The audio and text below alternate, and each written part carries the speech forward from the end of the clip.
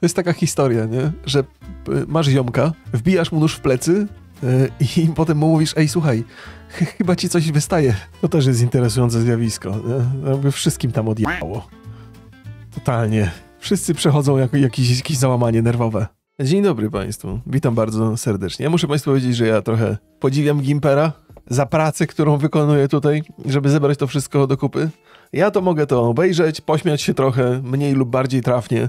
Mam swoje spostrzeżenia w tych sprawach. Zdziecinnienie tego środowiska mnie najbardziej dobija, właściwie dobija, zaskakuje. Ale tu Gimper, żeby to wszystko zebrać razem, posortować, poukładać, złożyć to w jeden film, to trzeba sporo, no to trzeba sporo, sporo samozaparcia. No pracowity chłop jest.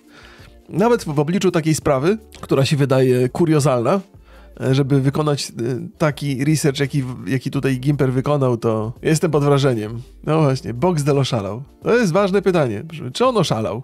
Boxdel oszalał! To odbiór wielu ludzi po najnowszym streamie włodarza Fame, który najpierw wrzucił godzinny film, w którym przyznaje się do, cytuję, bycia k***wą, a później na transmisji live zaatakował wszystkich. Równolegle swojego streama prowadzili Sylwester Wardenga i Denit Rozyniak, którzy komentowali to, co się dzieje, dzięki czemu zobaczyliśmy, jak Nitro ogląda Wardęgę, który ogląda Boxdela, który ogląda Wardęgę, który ogląda Boxdela, który ogląda Wardęgę. Podsumowując, jest grubo. A oprócz No, autentycznie, ja też o tym zapomniałem, e, rozmawiając tam o materiale Boxdela, że to było, e, to, to, to było takie zapętlone na streamach, że to się odbywało na żywo. To nie jest tak, że ja tam sobie usiądę leniwie po całej sytuacji i tutaj popatrzę na to, co się działo. Oni na bieżąco to komentowali, jeden drugiego, na zmianę. To był taki, chyba pierwsza sytuacja, kiedy mieliśmy do czynienia z, z, z dialogiem, który odbywał się za pośrednictwem streamów i rozmówcy po fakcie komentowali to, co mieli do powiedzenia. To jest, y, to też pewna specyfika, być może, no my żeśmy to w Polsce to wymyślili. W Polsce to zostało wymyślone ja nie słyszałem o takiej sytuacji na świecie. Ja wiem, Incepcja, Incepcja była no, Incepcja się zdarzała, ale nie na żywo nigdy. Zawsze była z playbacku. Teraz na żywo to się odbyło. Taki, taki, proszę Państwa, pokaz. Ja nawet nie chcę, nie chcę liczyć i nie chcę sprawdzać, ilu widzów było y, i obserwowało to zjawisko na żywo.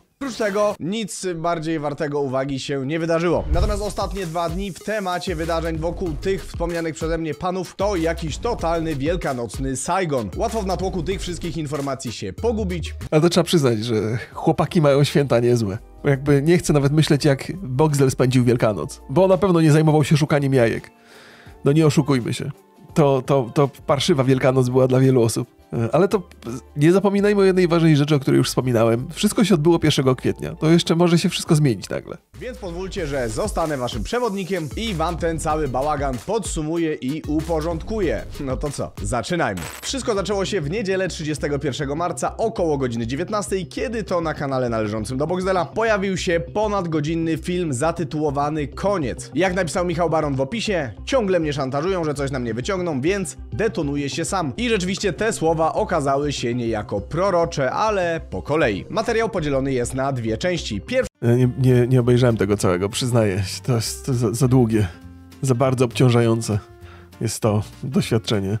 Chłop biedny, sensie nie wiem, że mówienie o Boxdelu, że to biedny chłop, ale on, państwo sobie siedzieli w domu, spędzaliście szczęśliwie czas z rodziną, jedliście wędliny, sałatki, dużo majonezu, na pewno jajek, on siedział i ten film planował. I nagrywał to wszystko. Wyobrażacie sobie? Święta poświęcił. Dla waszego dobra, dla waszej rozrywki. Ilu jest takich twórców? Jak były święta, ja przez trzy dni filmów nie publikowałem, a on całe święta spędził, zamiast iść do kościoła, poświęcić coś. To on siedział, siedział i montował i przygotowywał dla państwa prawdziwą bombę. Pierwsza poświęcona jest praktycznie w całości osobie Natana Marconia, w drugiej natomiast Buxton odwołuje się do wszystkich najnowszych rewelacji w jego temacie, przede wszystkim dotyczących niejasnej sytuacji z jego udziałem przy filmie, który wymierzony był w Konopskiego i Sylwestra Wardęgę. I zarzutów oraz nowych informacji, które pojawiają się w tym filmie jest mnóstwo. A sam Boxdel w filmie spróbował zaprezentować postawę pod tytułem Nie mam nic do stracenia, wszyscy wiedzą, że jestem k***ą, więc i tak powiem wszystko na siebie, zanim ktokolwiek inny na to powie. Dzięki temu nikt nie będzie mógł mnie szantażować i wreszcie poczuję się wolny. I teoretycznie No nie wiem, czy to tak. y, Już, już też żeśmy o tym rozmawiali, że Boxdel jest na dnie, jedyny kierunek to jest do góry, więc on w zasadzie może robić co, co mu się teraz żywnie podoba. Ale to jest. y, Cały czas będę o tym myślał i cały czas będę to powtarzał. Sprawa Pandory już powoli uciecha, ucichała. Oni już byli na bezpiecznej sytuacji. Wróciły powoli odcinki Goats, zaczęły się sprawy we właściwą stronę ustawiać i nagle, nie wiadomo, ni stąd, ni zowąd pojawia się jakiś film wyciągnięty od Nitro, który po co powstawał, zaszkodzi, za, zaszkodził im wszystkim, zaszkodził Boxdelowi. To jest niesamowite, ale to jest, może to jest karma? Myślicie, że to jest karma? Że narobisz głupot, uda ci się uniknąć konsekwencji najgorszych, idziesz do przodu i, i sam z, z własnej nieprzymuszonej woli pakujesz się znowu całą głową albo po same pachy w gówno. To musi, to musi być karma, to chyba jest karma. Los uznał po prostu, że konsekwencje były zbyt małe. Faktycznie brzmi to bardzo ładnie i szlachetnie, ale Boxdel całą prawdę miał mówić już wiele razy, więc z naiwną wiarą w tego typu deklaracje byłbym ostrożny. W filmie jednak zostało poruszonych mnóstwo nowych kwestii, a mianowicie Boxdel zarzucił Nathanowi, że ten miał zdradzić swoją dziewczynę. I jest to odbitka na zarzut Nathana, który to Boxdelowi zarzucał, że ten swoją dziewczynę zdradzał, a na dodatek Nathan ma budować swój wizerunek jako osoby, która tak zwanym Stwem się brzydzi, no i Boxdel chciał tutaj pokazać jego zakłamanie i hipokryzję. Nathan Marcoń natomiast na swoich Insta Stories, a także później na livestreamie Boxdela na ten zarzut odpowiedział, twierdząc, że Boxdel mówi nieprawdę, ponieważ dziewczyna, którą rzekomo miał zdradzić w czasie, kiedy uprawiał z innymi osobami, nie była jego dziewczyną. I wiem, że wspominając tutaj o streamie Boxdela trochę wyprzedzam timeline, bo ten stream miał miejsce kilka godzin po filmie, ale myślę, że podsumowanie wszystkich informacji wokół każdego z zarzutów będzie najbardziej przejrzyste. Finalnie Skąd się tu Nathan nagle wziął w tej całej historii? I to też jest taka obserwacja, którą poczyniłem w poprzednim materiale, że Boxdel chyba taką linię obrony przyjął, że wszystkich sprowadzi do swojego poziomu. Jeżeli wszyscy będą równie negatywnie postrzegani jak on, no to ma szansę iść do przodu.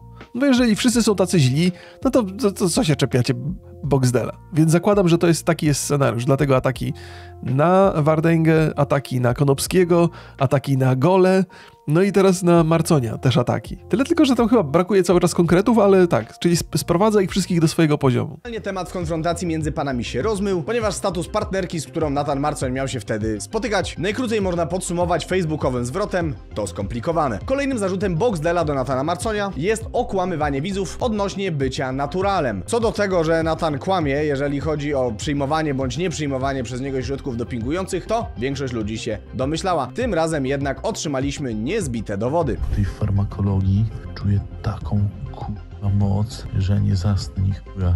Mam swoją zbyt dużą agresję kurwa. Nie umiem spać. Ta głosówka jest bardzo mocnym dowodem na to, że Nathan przyjmował doping. Boxdel opowiedział także, że No to jest też taka historia z tym dopingiem i z tymi sterydami i z tym wszystkim.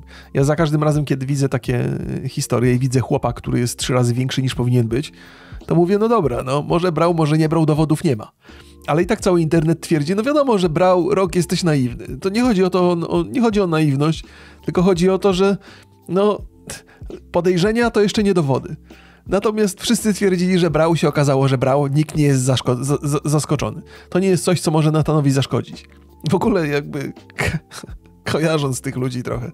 To, że Nathan zdradza dziewczynę, to, że Nathan bierze sterydy, czy to wpływa negatywnie na jego wizerunek, waszym zdaniem? Bo mi się wydaje, że niekoniecznie. Że to nie ma znaczenia w ogóle.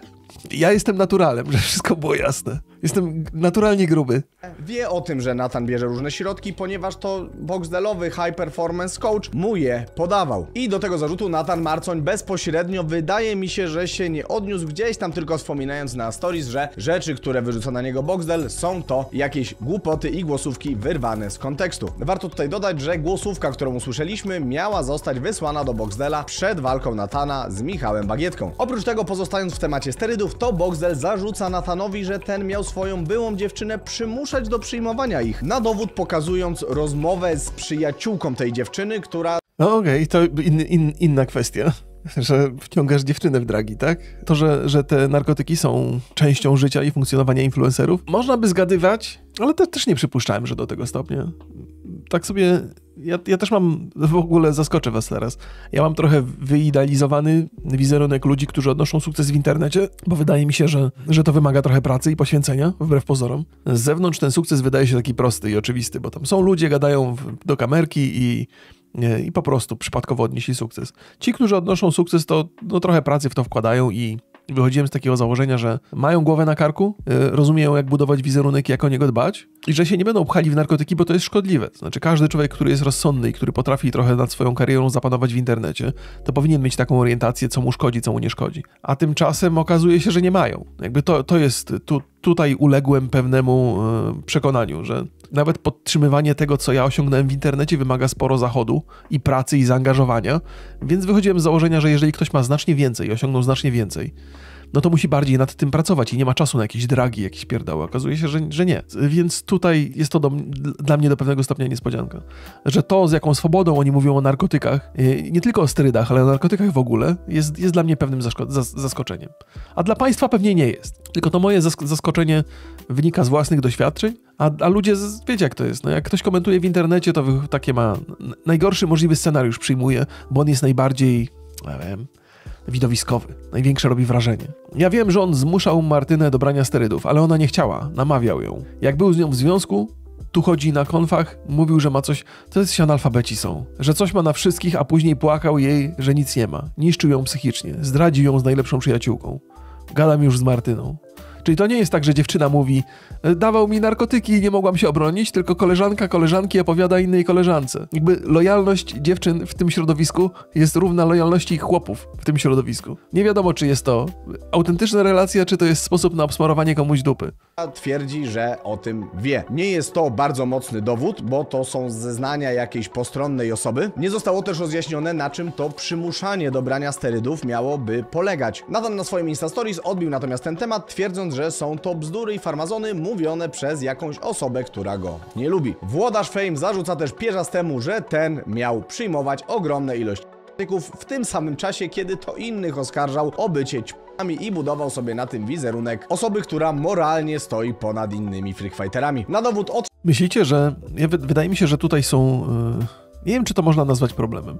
Myślicie, że oni są jakimś wzorem do naśladowania dla młodych ludzi? Czy, czy żyjemy w takiej rzeczywistości?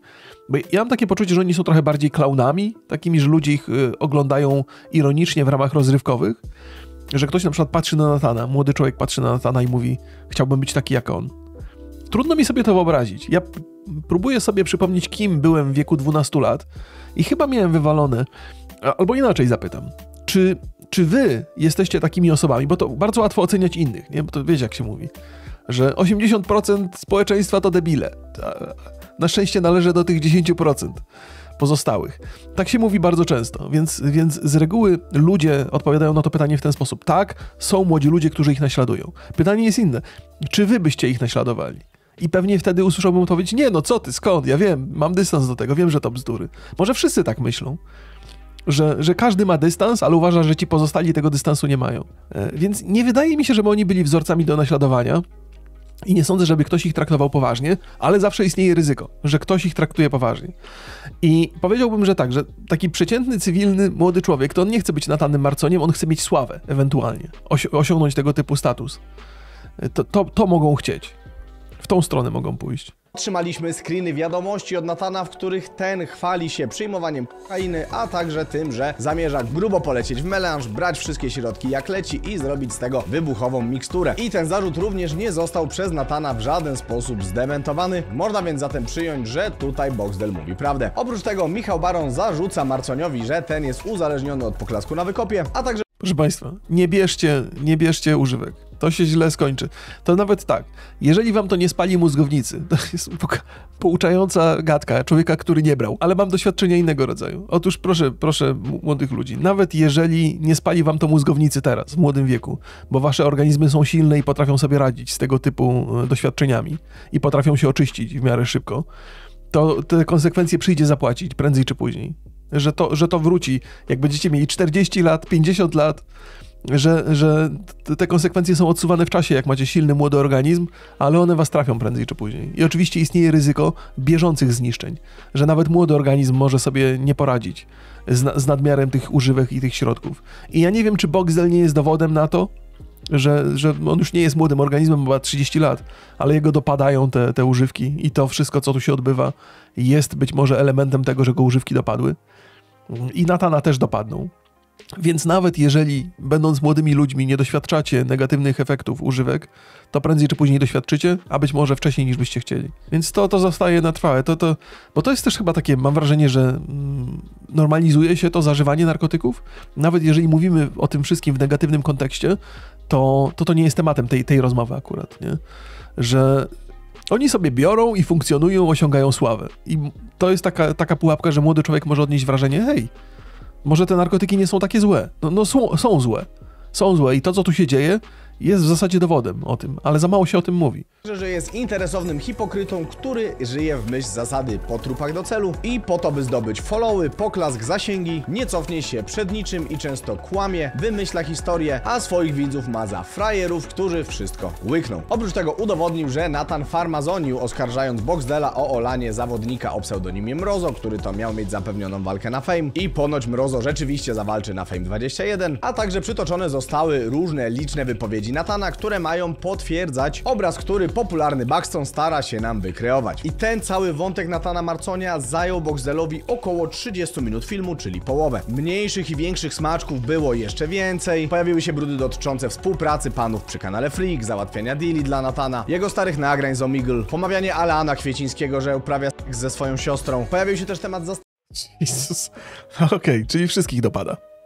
Wszystkich, dokładnie wszystkich zaatakował. Nawet typów, których tak kojarzę tylko trochę z tego. No wszyscy, wszyscy. Ale tak, tak, to jest, to jest sprowadzenie wszystkich do wspólnego mianownika.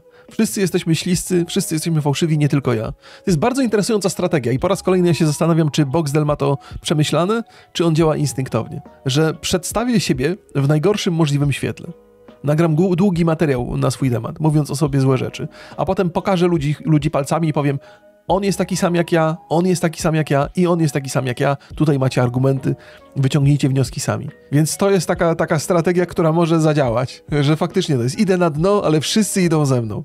Straszania Natana Marconia, które nigdy nie miały mieć miejsce, Boxdel przyznał natomiast, że w emocjach powiedział kiedyś o kilka słów za dużo. Więc no chyba jednak miało miejsce, tylko że wydarzyło się w emocjach. I teraz myślę, że zanim przejdziemy do drugiej części filmu, powinniśmy omówić to, co wydarzyło się po nim, ponieważ godzinę, dwie po uploadzie filmu zatytułowanego Koniec, Boxdel odpalił streama Aferek. Streama, na którym zachowywał się jak nie Boxdel. Był bardzo nabuzowany, agresywny, bardzo kompulsywnie poruszał się podczas wypowiedzi i rozmów telefonicznych z gośćmi. I o ile rozumiem shadowboxing, bo sam to czasami robię jak z kimś gadam i jestem czasem irytujący, to częstotliwość z jaką robił to Boxdel na tym streamie, tempo w jakim to robił, w jakim wypluwał z siebie informacje i cały vibe, w którym on był, doprowadził Już nie bierzcie, naprawdę. Niech to będzie, niech to będzie ostrzeżenie. Ja wiem, że on się uśmiecha i wygląda, że ma sytuację pod kontrolą, ale wszyscy wiemy, że, że, że nie ma. To nie, nie wzięło się przypadkowo, to nie jest jego wewnętrzna energia. No. No może, może ostatecznie, no nie wiem, nie widziałem, żeby coś brał. Może wpływ adrenaliny. Ale to też ja tak mówię, że no nie mamy żadnych dowodów, że coś wziął, ale wszyscy i tak w internecie powiedzą, rok, no weź. Ja nie mogę tego powiedzieć wprost, no bo nie mam dowodów, ale wiem, wiadomo, że wszyscy komentujący będą mówili, no wiadomo, że jest naćpany. No I wszyscy, internet już wie. większość obserwujących do dwóch wniosków. Albo Boxdel oszalał, albo przyjął za dużo. No i między innymi podczas tego streamu dzwonili się z Natanem Marconiem, żeby przegadać sobie wszystkie te kwestie, które i Natan wywlekał od kilku dni na Twitterze czy swoich Insta Stories, czy to te, które Boxdel poruszył podczas 30-minutowego segmentu w swoim filmie. Powiedzieć, że ta rozmowa odbywała się w nerwowej atmosferze, to jak nic nie powiedzieć. A ty jesteś chory psychicznie, Michał, dobrze, że. Chłopie, ty, ja nie znam większego odklejęca od ciebie. Streścić wszystkich informacji, które pojawiły się podczas tej 40-minutowej przepychanki naprawdę nie sposób. Natomiast większość tej rozmowy wyglądała w sposób dosyć agresywny. Nathan półsłówkami sugerował, że ma jakieś brudy na Boxdela, jeszcze nieujawnione informacje i że wie, że Boxdel jest złą osobą i może mu o tym przypomnieć. Boxdel natomiast wszedł w postawę sugerującą, że nie boi się niczego. Zachęcał Natana do tego, żeby ujawniał te rzeczy, żeby wrzucał je na stories, żeby konfrontował go z nimi, żeby pokazywał dowody, tak jakby będąc pewny, że Nathan nic na niego nie ma albo te historie wymyśla. Widzisz, że ja Nie- Niewiarygodne te rzeczy są tutaj. To jest tak. e, To niezależnie od tego, czy ja to pokazuję, czy nie, sama świadomość, że to istnieje w internecie, że są takie relacje między ludźmi, jest, jest szokujące. Że oni tak wo wobec siebie się zachowują, że nagrywają to, że robią z tego live'y. Nawet jeżeli robisz taki live i wybronisz się i w zasadzie skorzystasz, bo będzie dużo kliknięć, dużo odsłon zarobisz na tym live'ie, to się tak odkłada na, na psychice. No nawet takie jakieś błahe live'y, gdzie tam się powie coś za dużo, albo obrazi się jakiegoś widza, albo zba zbanuje się kogoś yy, niewłaściwy, niewłaściwy sposób albo bez powodu, to człowiekowi ciąży, mi to ciąży na sumieniu. Jak powiem coś, jak na kogoś naskoczę, nawet tak komuś starą obrażę, może niepotrzebnie, bo czasami robię sobie z tego żarty, ale to pozostawię jakoś tak się, jak kurde, może za dużo powiedziałem, może, może za dużo emocji, może niepotrzebnie, może nie powinienem był tego mówić, może chłopowi teraz jest przykro, że na niego naskoczyłem. I ja mam takie, takie mam refleksje, nie? I, a to nie jest tak, że ja jestem wybitnie empatycznym człowiekiem. Nie, no ja też jestem w internecie tyle lat, że już trochę mam twardą dupę i nie patrzę na to w ten sposób. Nie potrafię sobie wyobrazić, w jakim stanie psychicznym są ludzie, którzy angażują, angażują się na żywo w tego typu pyskówki i poruszają takie ciężkie tematy i tak atakują się nawzajem, żeby oni byli w stanie jakby funkcjonować normalnie, poza kamerą. Że to jest, ja nie, nie wiem jak tu spać, jak tu żyć, to byś musiał być cały czas naćpany, żeby sobie radzić z tą presją. Niezwykła rzecz. Ja to mam, bo ty wiesz z kim Ale no to puść to, puść mi to. Tutaj zobacz, jest ludzi. 20 tysięcy osób, którym możesz to puścić teraz i zgrillować mnie na streamie. Zrób to. Ta postawa natomiast w żaden sposób Natana z pantałyku nie zbiła, bowiem ten kontynuował swoją ofensywę i kłótnia trwała w ten sposób przez dłuższy czas, kiedy to panowie przerzucali się różnymi argumentami. Kiedy natomiast już w jakiejś sprawie zaczynali docierać do prawdy i jakaś ze stron zaczynała przechylać szale argumentów na swoją stronę, to ta druga szybko temat zmieniała i odbijali do czegoś innego. W pewnym momencie natomiast Boxdel kompletnie przestał Natana słuchać. Zaczął jeszcze szybciej wykonywać swój shadowboxing w powietrze i uprawiać w stronę Marconia zwyczajny trash talk, mówiąc mu, że łatwo wejść mu do głowy, że może go zniszczyć, że go wywali z każdej federacji, że naśle na niego 20 tysięcy osób ogląda, jak facet stracił kontakt z rzeczywistością. Że, że no, mus- musiał się wydarzyć ten, ten punkt kulminacyjny w jego, ten, ten stan psychiczny. Jak się, jak się nazywa? Jak się nazywa ten taki moment, w którym człowiek się odkleja? Jakby załamał się, nie? Tak, no to jest chyba ten moment takiego za- załamania. Załamania. kancelarię prawną, że 150 koła z niego ściągnie i da na cele charytatywne. Konkluzji z tego żadnej większej nie było, natomiast Sylwester Wardęga, który równolegle oglądał ten livestream Boxdela, stwierdził, że jego zdaniem jest to strategia włodarza po to, by rozbroić film, który Nathan Marcoń miał na niego przygotowywać. Bowiem po tak obszernym wymęczeniu tematu, wymieszaniu wątków, przytłoczeniu ludzi ilością informacji, przy jednoczesnym ośmieszaniu Natana Marconia i ubijaniu jego pozycji, potencjalny demyr wynikający dla Buxtona z tego, że Nathan opublikuje teraz jakiś duży film z podsumowaniem i dowodami, został znacząco zredukowany. A szczególny wpływ na to mogła mieć także również druga część filmu Boxdela, do której sobie teraz przejdziemy. Jest to część, w której Boxdel mówi swoim widzom otwarcie. Zacho Ale to, to się zgadza. G- Gimper to potwierdza, że teraz to jest interesujące, bo po pierwsze, to, że Boxel nagrał film o sobie, taki bardzo, w którym negatywnie mówi o swoich zachowaniach, to jest jedna rzecz, nie? czyli odebrał trochę amunicję ludziom. Ale drugi, druga sprawa, to w jaki sposób on się zachowuje, e, no to, to w jaki sposób tam się uśmiecha, jak się rusza, to, to widać, że to jest człowiek, który przechodzi jakieś załamanie ciężkie. I, I w takiej sytuacji nawet niezwykle ciężko jest go atakować, bo to już masz takie poczucie, że totalnie kopiesz leżącego. Gimper może sobie na to pozwolić, bo on trochę raportuje. Jakby nie zajmuje tutaj stanowiska, tylko przedstawia e, tam wy- wydarzenia, ustawia je chronologicznie, żebyśmy wiedzieli co i jak. Więc Gimper jest tutaj takim reportażystą trochę bardziej, pozbawionym e, własnego udziału w całej sprawie. Natomiast wszyscy pozostali, którzy by chcieli teraz Boxdela napastować, to się ma takie, takie poczucie, że to jest facet, którego powinni zamknąć w pokoju bez klamek na jakiś czas. I teraz jeżdżenie po nim y, i atakowanie go jest takie. No, bardzo, bardzo, bardzo sprawnie postawił się w roli ofiary. zachowywałem się jak fałszywa kurwa, jestem kurwą, macie prawo mnie nienawidzić. I nie tylko wy, ale także ludzie, których zdradziłem i oszukałem. W tej części Boxdel przyznaje się do wielu rzeczy, które od dłuższego czasu były mu zarzucane. Przyznaje się, że miał kompleksy, więc walił mnóstwo sterydów, że miał bardzo dużo twardych że chodził na prostytutki do burdelu, że przed walką z Ksajo rzeczywiście przyjmował meldonium, ponieważ był zafiksowany na tym, żeby wygrać tę walkę i chciał mieć więcej tlenu. Przyznał też, że myślałby zapłacić Olczek 93 pieniądze za milczenie, choć finalnie dodał, że Dziwnie brzmi. Zapłacić chciał Olciak 93 pieniądze. Ile pieniędzy? 93. A, okej. A propos kompleksów. E, Boxdela, nie? E, Patrzycie Państwo sobie na takiego chłopa. Jak ktoś jest młody akurat w internecie. Spójrzmy z perspektywy młodego człowieka, który ma kompleksy. No bo każdy ma jakieś kompleksy, zwłaszcza w młodości. Te wszystkie rzeczy, które nam się nie podobają w nas samych, e, urastają do, do miana problemu, którym tak naprawdę nie są.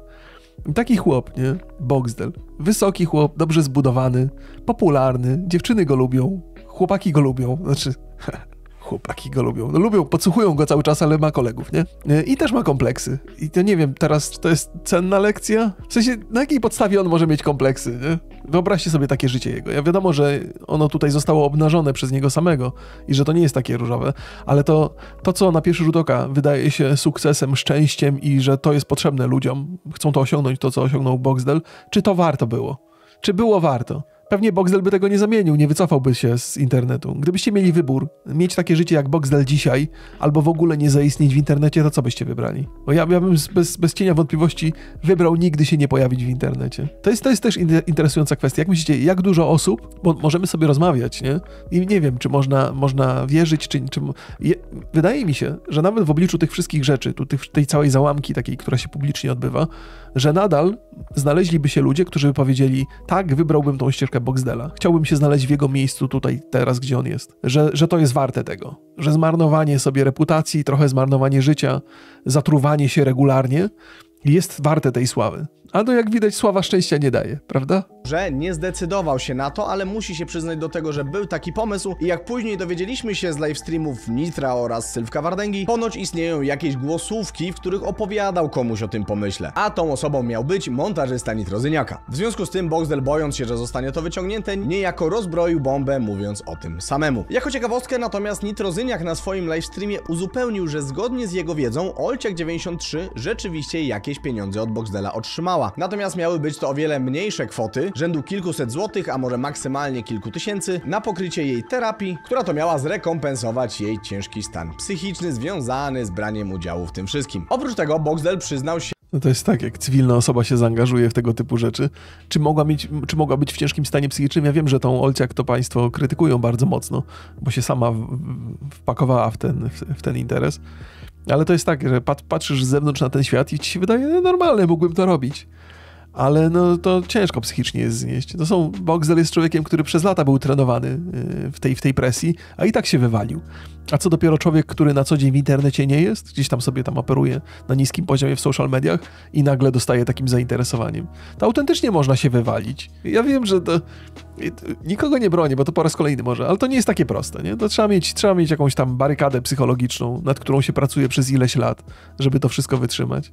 Więc wcale się nie dziwię, że dziewczyna poszła na terapię po tym wszystkim, mimo że tak właściwie eksponowana była tylko przez dosyć krótki czas. Się do bardzo mocnej rzeczy. Bowiem jak się okazuje, oprócz tego, że groził Wardędze, że go zniszczy i że ma ileś milionów złotych na zemstę, to okazuje się, że do Konopskiego przed publikacją jego filmu zostanie wysłani ludzie, którzy mieli z nim pogadać. I tutaj temat robi się dosyć ciekawy, bo Boxel nie rozwinął tego wątku bardzo mocno, natomiast podjął go na swoim streamie Sylwester Wardęga, a mocniej rozwinął Nitro. Sylwek bowiem miał dostać przecieki, że ktoś chce przyjechać do Konopskiego i wyperswadować mu, żeby nie realizował materiału o Pandora Gate. Wtedy finalnie nic się nie wydarzyło, w związku z tym Konop nawet miał pretensje do druida, że robi mu jakieś wkręty na bani, a Sylwek zastanawiał się, czy może nie ma już lekkiej paranoi. Jak wynika natomiast z relacji Nitrozyniaka, rzeczywiście sprawa miała miejsce. I jacyś ludzie mieli pytać go o Konopa i próbować ustalić szczegóły jego dotyczące. Nitro natomiast twierdzi, że wyczuł, że coś w tych pytaniach, które otrzymuje jest nie tak i zadzwonił do tych osób, żeby z nimi porozmawiać. I prawdopodobnie dzięki temu zatrzymał całą akcję wymierzoną w Konopskiego, która mogła różnie się skończyć. Widzicie Państwo, się okazuje, że to Nitro jest tutaj obrońcą w internecie, ostatnia szlachetna jednostka. Jak to historia, jak to, jak to potrafi się zmieniać, jak w kalejdoskopie, te, te historie. Rozmawialiśmy o tym wcześniej, oglądając materiał Boxdela i ja powtórzę tak na szybko, gdyby się komuś nie chciało do tego wracać, że ja mam takie wrażenie, że to byli silnoręcy zatrudnieni Fame MMA, którzy się bali o swoją robotę, więc uznali, że trzeba inicjatywę mu się wykazać i spuścić łomot jednemu albo drugiemu, żeby sytuacja się uspokoiła. Że dla ludzi, którzy są zatrudnieni w Fame MMA, to święty spokój to jest rzecz, która jest najbardziej potrzebna. I to jest gwarancja długoterminowego zatrudnienia. E, tak, że to byli ponoć ochroniarze z Fame'u. Nie wiem, ten, ten ponoć, no być może, jest to wielce prawdopodobne, że to byli oni właśnie, uznali, że kurde, no zawsze przez całe życie rozwiązywałem problemy spuszczając łomot, to może ten problem też się tak da rozwiązać. E, więc się zgłosili albo do Boxdela, albo, się, albo sami na własną rękę szukali sposobu na to, żeby problem rozwiązać. Więc, yy, więc podejrzewam, że to nie jest tak, że, już, już, już żeśmy mówili o tym wcześniej, to nie jest tak, że Boxdel szukał chętnych, żeby, żeby załatwić jego problemy. To jest raczej taka historia, że znaleźli się ludzie, którzy sami chcieli problemy rozwiązać, bo postrzegali to jako, jako kłopot dla siebie. Nie wiem, czego chcieli pobić, czy zastraszyć, kurwa, czy jakiś kark by wyszedł i powiedział, ty słuchaj Konopski, kurwa, oddawaj komputer. Tego nie wiem. No to próbowałem kurwa, dosłownie Konopski, dawaj komputer. To by było ciekawe, ciekawe. No właśnie, to też jest interesujące. W jaki sposób szeryf internetu mógłby się zachować, gdyby problem wyszedł poza internet? W sensie, jak, jakby z waszej perspektywy. Myślicie, żeby się przestraszył, tak? Jakby zobaczył takich trzech ziomków wielkich? Czy by nagrał o tym materiał? To jest, e, to jest ciekawe, bo, bo trochę zu, zu, zupełnie inaczej opowiada się o tych rzeczach w internecie, a zupełnie inaczej, kiedy ta sprawa zaczyna e, być niebezpieczna. Ale to mm, ra, raczej by po, poinformował policję o całym, e, całym procederze, procederze i by nagrał o tym film. Tak myślę. wszystkich obdzwonić, kogo znam, bo autentycznie myślałem, że mu się kurwa, może coś wydarzyć. To jest naprawdę mocny wątek. Kurwa mać, my tu mówimy o realnym wysłaniu ludzi na kogoś, żeby co mu zrobili, przepraszam, przestawili nos czy szczękę, czy wyrzucili komputer do rzeki, żeby przypadkiem czegoś nie opublikował. Tego się na szczęście nie dowiemy, bo całą akcję udało się zatrzymać, natomiast sam Właśnie, to też jest interesujące. Spójrzmy na to jeszcze trochę e, z, z szerszej perspektywy. Tak prawdę powiedziawszy, to wcale taki, taka sytuacja nie, nie, nie musiała mieć miejsca. To wystarczy, że w internecie jeden ziomek powie do drugiego, ej, słuchaj, jadą do ciebie typy, chcą ci spuścić łomot. I ten gościu przestraszony mówi, o nie, jadą do mnie typy i nagrywa film. Typy do mnie jechały. Nie wiadomo, czy jechały, czy nie jechały, to wszystko są spekulacje. Bo Boxel oczywiście to potwierdził, bo mówił, że były tam jakieś takie rozmowy dziwne i że to nie z jego inicjatywy, więc coś miało miejsce. Ale równie dobrze ktoś mógł wymyślić taką historię, żeby robić siebie bohatera. Że słuchaj, jechali do ciebie ziomkowie, ale obdzwoniłem wszystkich, których znam i jesteś bezpieczny. Już ci teraz nic nie grozi. I wszyscy w internecie, wow, Kurde, no teraz widać, kto jest prawdziwie, kto jest dobrym człowiekiem w internecie. Ale ich obronił. Własną piersią ich zasłonił. Niesamowity chłop. A tak wszyscy o nim źle mówili. A teraz, no taki obrońca. No nawet Konopskiego obronił. A przecież Konopski go atakował. Nawet mściwy nie jest. To niesamowity człowiek, no. Przywrócić go na YouTube'a, natychmiast. Piszmy do Google'a. Więc, no, co takie legendy się tworzy. I oczywiście, że ludzie wierzą w to, bo chcą wierzyć. Lubią te, te, te, te zwroty akcji. Fakt, że coś takiego rzeczywiście wydarzyło się w kuluarach, jest szczerze mówiąc zajebiście przerażający i myślę, że jako obserwatorzy całej tej sytuacji nie powinniśmy pozwolić, żeby prześlizgnął się bokiem w tym gąszczu informacji, którym zostaliśmy zasypani. Ej. Kontynuując, Michał opowiedział, jak to było z całą tą jego zmianą frontów dotyczącą filmu na Sylwestra Wardęgę i Konopskiego. I tutaj rzeczywiście wersja wydarzeń zdaje się sklejać z tym, co wiele osób podejrzewało, a także z tym, o czym razem z Rewą mówiliśmy na podcaście Zgrzyt. Swoją drogą zapraszam, bo przez trzy ostatnie odcinki sobie to wszystko bardzo szeroko analizowaliśmy, a również dziś będziemy nagrywać podcast, w którym przeanalizujemy sobie Okej, tu musiałem zrobić stop klatkę. Rozumiem, świąteczny, świąteczny podcast. Okej. jeszcze szerzej to wszystko, o czym dzisiaj mówię. On pewnie pojawi się jutro, także wpadajcie na zgrzyt, subskrybujcie i oglądajcie, bo wszystkie te tematy na pewno jeszcze rozwiniemy. Jeżeli wierzyć natomiast historii Boxdela odnośnie tego, co się wydarzyło, to miał on rzeczywiście blisko trzymać się z Wardęgą. Natomiast kiedy dowiedział się, że Nitro i Marcin Dubiel od jego byłej dziewczyny mają jego głosówki, których zamierzają użyć w jakimś filmie, które wypuszczą do Ej, przestańcie. e, To, że nitro ma więcej wagi, to nie znaczy, że to wynika. To jest tak, proszę Państwa. Ja to, muszę, ja to muszę komentować. To, że człowiek ma nadwagę, to nie jest efekt szczęścia. To jest raczej efekt y, stresów, problemów, zajadywania tych kłopotów. No oczywiście ktoś może być obżartuchem, to jest inna historia. Ale z reguły człowiek, jak jest otyły, zwłaszcza w dzisiejszych czasach, kiedy się patrzy na to trochę krytycznie, to jest otyły dlatego, że, że jakoś sobie kompensuje presje różne y, jedzeniem, bo jedzenie daje takie poczucie radości, zadowolenia, szczęścia, no to różnie ludzie. Więc to, to nie jest, to nie, to nie jest tak, że gruby to znaczy, że nachapał się.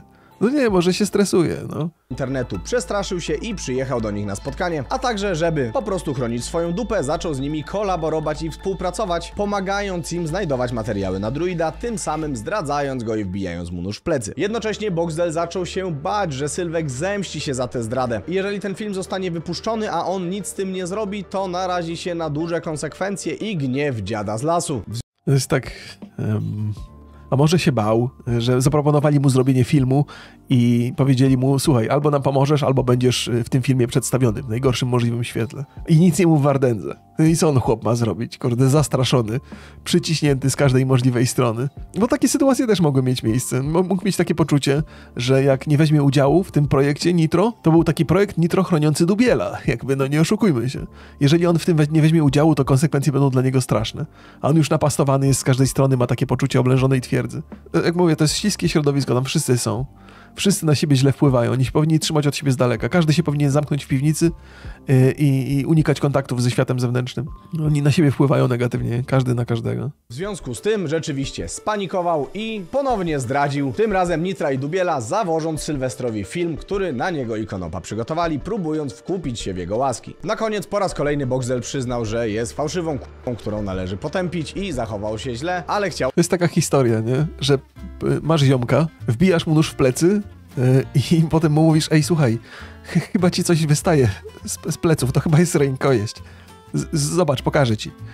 Y, I to, to, jest, to jest taka, taka sytuacja, czyli wykazujesz się skrajnym brakiem lojalności i potem opowiadasz o tym, żeby się bronić jakoś, żeby nie palić mostu za sobą. Chciałby, żeby ludzie wiedzieli, z czego to wynikało. Z istotnych informacji, które za chwilę sobie rozwiniemy, to poinformował też, że nawet Wojtek Gola na pewnym etapie zaczął współpracować z Dubielem przeciwko Wardędze. Jak się później dowiedzieliśmy, miała to być jednak sytuacja chwilowa, do której doszło pod wpływem emocji i Sylwester oraz Wojtek Gola mają już to wyjaśnione. No dobrze, na tym mniej więcej kończy się film Boxdela, natomiast pamiętajcie, że ma on ponad godzinę, więc jeżeli chcecie mieć pełny obraz sytuacji, to sobie go obejrzyjcie. Natomiast To jest też tak, tego biednego gole. Ja już to mówię, biedny gola. Bo że on, że on się tak przykleja do tych, którzy odnoszą sukces. No i tu nie miał się do kogo przykleić. On nie wiedział, w którą stronę się zwrócić. Kto będzie jego przyjacielem, kto będzie jego wrogiem. A jeszcze go napastują ludzie z wykopu, że on chłopców lubi, a przecież nie lubi. I co on, co on jako sobie ma poradzić w tej całej sytuacji? Że on nie po to przyszedł, on miał tu ładnie wyglądać tylko. A nie, że teraz może się ni stąd, ni zowąd stać ofiarą, że obrywa rykoszetem, a przecież on, on nie wiedział. On nie chciał. On nawet za bardzo nie, nie, nie przykłada się do tej gali. Czemu wszyscy teraz oni go zahaczają? wszystko co najważniejsze postarałem się wam tutaj uszeregować. Około godzinę dwie po uploadzie tego filmu rozpętała się prawdziwa jadka, bowiem jednocześnie swoje livestreamy uruchomili Boxdel, Sylwester Wardęga oraz Denit Rozyniak. I próba śledzenia wszystkich trzech transmisji naraz, na których przeplatały się różne informacje dotyczące wszystkich tych wątków, a panowie oglądali i komentowali wzajemnie siebie, swoje livestreamy, swoje filmy i różne shoty, które zaczynały latać na YouTubie, była bardzo trudna. W związku z tym po obejrzeniu zapisów każdej z tych transmisji postaram się wam przedstawić najważniejsze, czego się dowiedzieliśmy. I tu jestem pełen podziwu. On to wszystko musiał obejrzeć osobno. Każdy ten musiał rozdzielić te materiały, wybrać właściwe i podsumować i rozpisać to na karteczkach. To się tego nie da się ogarnąć. Zresztą chyba każdy, kto to ogląda, to nie po to, żeby zrozumieć istotę problemu, tylko żeby się nacieszyć tą rozwałką, która się dzieje. To mi się trochę przypomina tak, szkole podstawowej, nie? Jak jeszcze bicie się z, na boisku było rozrywką, bo nie było internetu. To jak w szkole ktoś się naparzać miał z, z, kolegą. Miało się dwóch ziomków tłuc, to cała szkoła o tym wiedziała i wszyscy się zbierali i obserwowali. Nieważne, kto był po czyjej stronie, ważne, żeby patrzeć, jak się naparzają. I to jest dokładnie tego samego typu rozrywka dzisiaj. Ziomkowie się naparzają ze sobą i wszyscy, cała szkoła się zbiera dookoła, żeby na to popatrzeć. Nikt nie ma tam interesu własnego, nikogo nie interesuje problem, od czego się zaczęło, tylko żeby popatrzeć, jak się nap- naparzają. I to jest dokładnie to. To jest to, jest to co się odbywało za boiskiem albo za, za śmietnikiem w podstawówce. wszystkim Sylwester i Boxdel na swoich streamach się ze sobą zdzwonili. Nie była to bardzo długa rozmowa, ale łatwo dało się wyczuć vibe w powietrzu. Odpalony Boxdel bardzo chciał pogadać z Sylwestrem i konfrontować się na żywo z różnymi rzeczami, które mu zarzuca. Ben Odpalony to jest dobry dobór słów. Nie, nie wydaje wam się, że on tu wyraźnie jest odpalony i odpalenie y, się odbyło przy użyciu zewnętrznych y, wspomagaczy. Będąc jednak do tego totalnie nieprzygotowanym. Sylwester natomiast był bardzo zdawkowy w swoich odpowiedziach oraz reakcjach, a także podkreślał, że nie ma ochoty na utrzymywanie kontaktu z Boxdelem. Nawet poprosił go, żeby to była ich ostatnia rozmowa telefoniczna i że potrzebuje teraz czasu, a także, że zamierza odsuwać się od tego środowiska. Ja bym chciał, żeby to była nasza ostatnia rozmowa, ta dzisiaj. Że po prostu ty sobie zrób live'a, ja na to odpowiem na swoim live'ie. Aha, czyli nie chcesz już ze mną gadać. No, dzi- Michał, dziwisz mi się. Nie dziwię ci się w żadnym razie, ale chyba, no wiesz, możemy przecież y, mieć kontakt ze sobą, nie? Na pewno teraz potrzebuję trochę czasu. Jeszcze te rzeczy Jak kontakt ze sobą? Czyli co, jednak się kumplujemy? Kurde, co za ludzie. Oglądaliście takie stare filmy gangsterskie, gdzie chyba Doni, Doni Brasco? Był taki film, dobrze, dobrze pamiętam? Z Alem Pacino. E, Że był, było, był, wtyka była w, w mafii. I on się kumplował z tymi, z tymi przestępcami i miał duży problem, żeby ich zdradzić potem. I to było bardzo duże obciążenie, że wiedział, że to są przestępcy, ale jakoś taka relacja się między nimi wywiązała i ciężko, ciężko mu było, ciężko mu było to jakby wykonać swoją pracę jako, jako gliniarza czy tam jako wtyki. A tutaj są ludzie, którzy się kolegują ze sobą. To właśnie ciężko jest psychicznie znieść takie coś, że kumpl, kumplujesz się z kimś, ale wiesz, że mu publicznie obsmarujesz dupę. Ja bym sobie chyba nie mógłbym sobie poradzić z, tak, z, z czymś takim. Al Pacino i Johnny Depp tam grali, być może. I za chwilę znowu się będą pewnie kumplować. Miałem coś więcej do powiedzenia, ale widzę tego Nitro w tych czerwonych gaciach siedzi tutaj na tym streamie. Co to ma być? Kocham. E, W seksownych czerwonych majteczkach siedzi Nitro. No i skup się tutaj na poważnym temacie. O Wojtku i tak dalej. No a co o tym sądzisz? A co o tym sądzę? Proszę. Z najważniejszych informacji, które zostały nam powiedziane, to panowie poruszyli kwestię feralnej wypowiedzi Krzysztofa Rozpary, która miała podważyć wiarygodność Sylwestra Wardęgi. Przypomnijmy ją sobie. Zapytaliśmy się ciebie, za ile chcesz zawalczyć. Roz, w rozmowie padło, rozmawialiśmy o twoich zasięgach.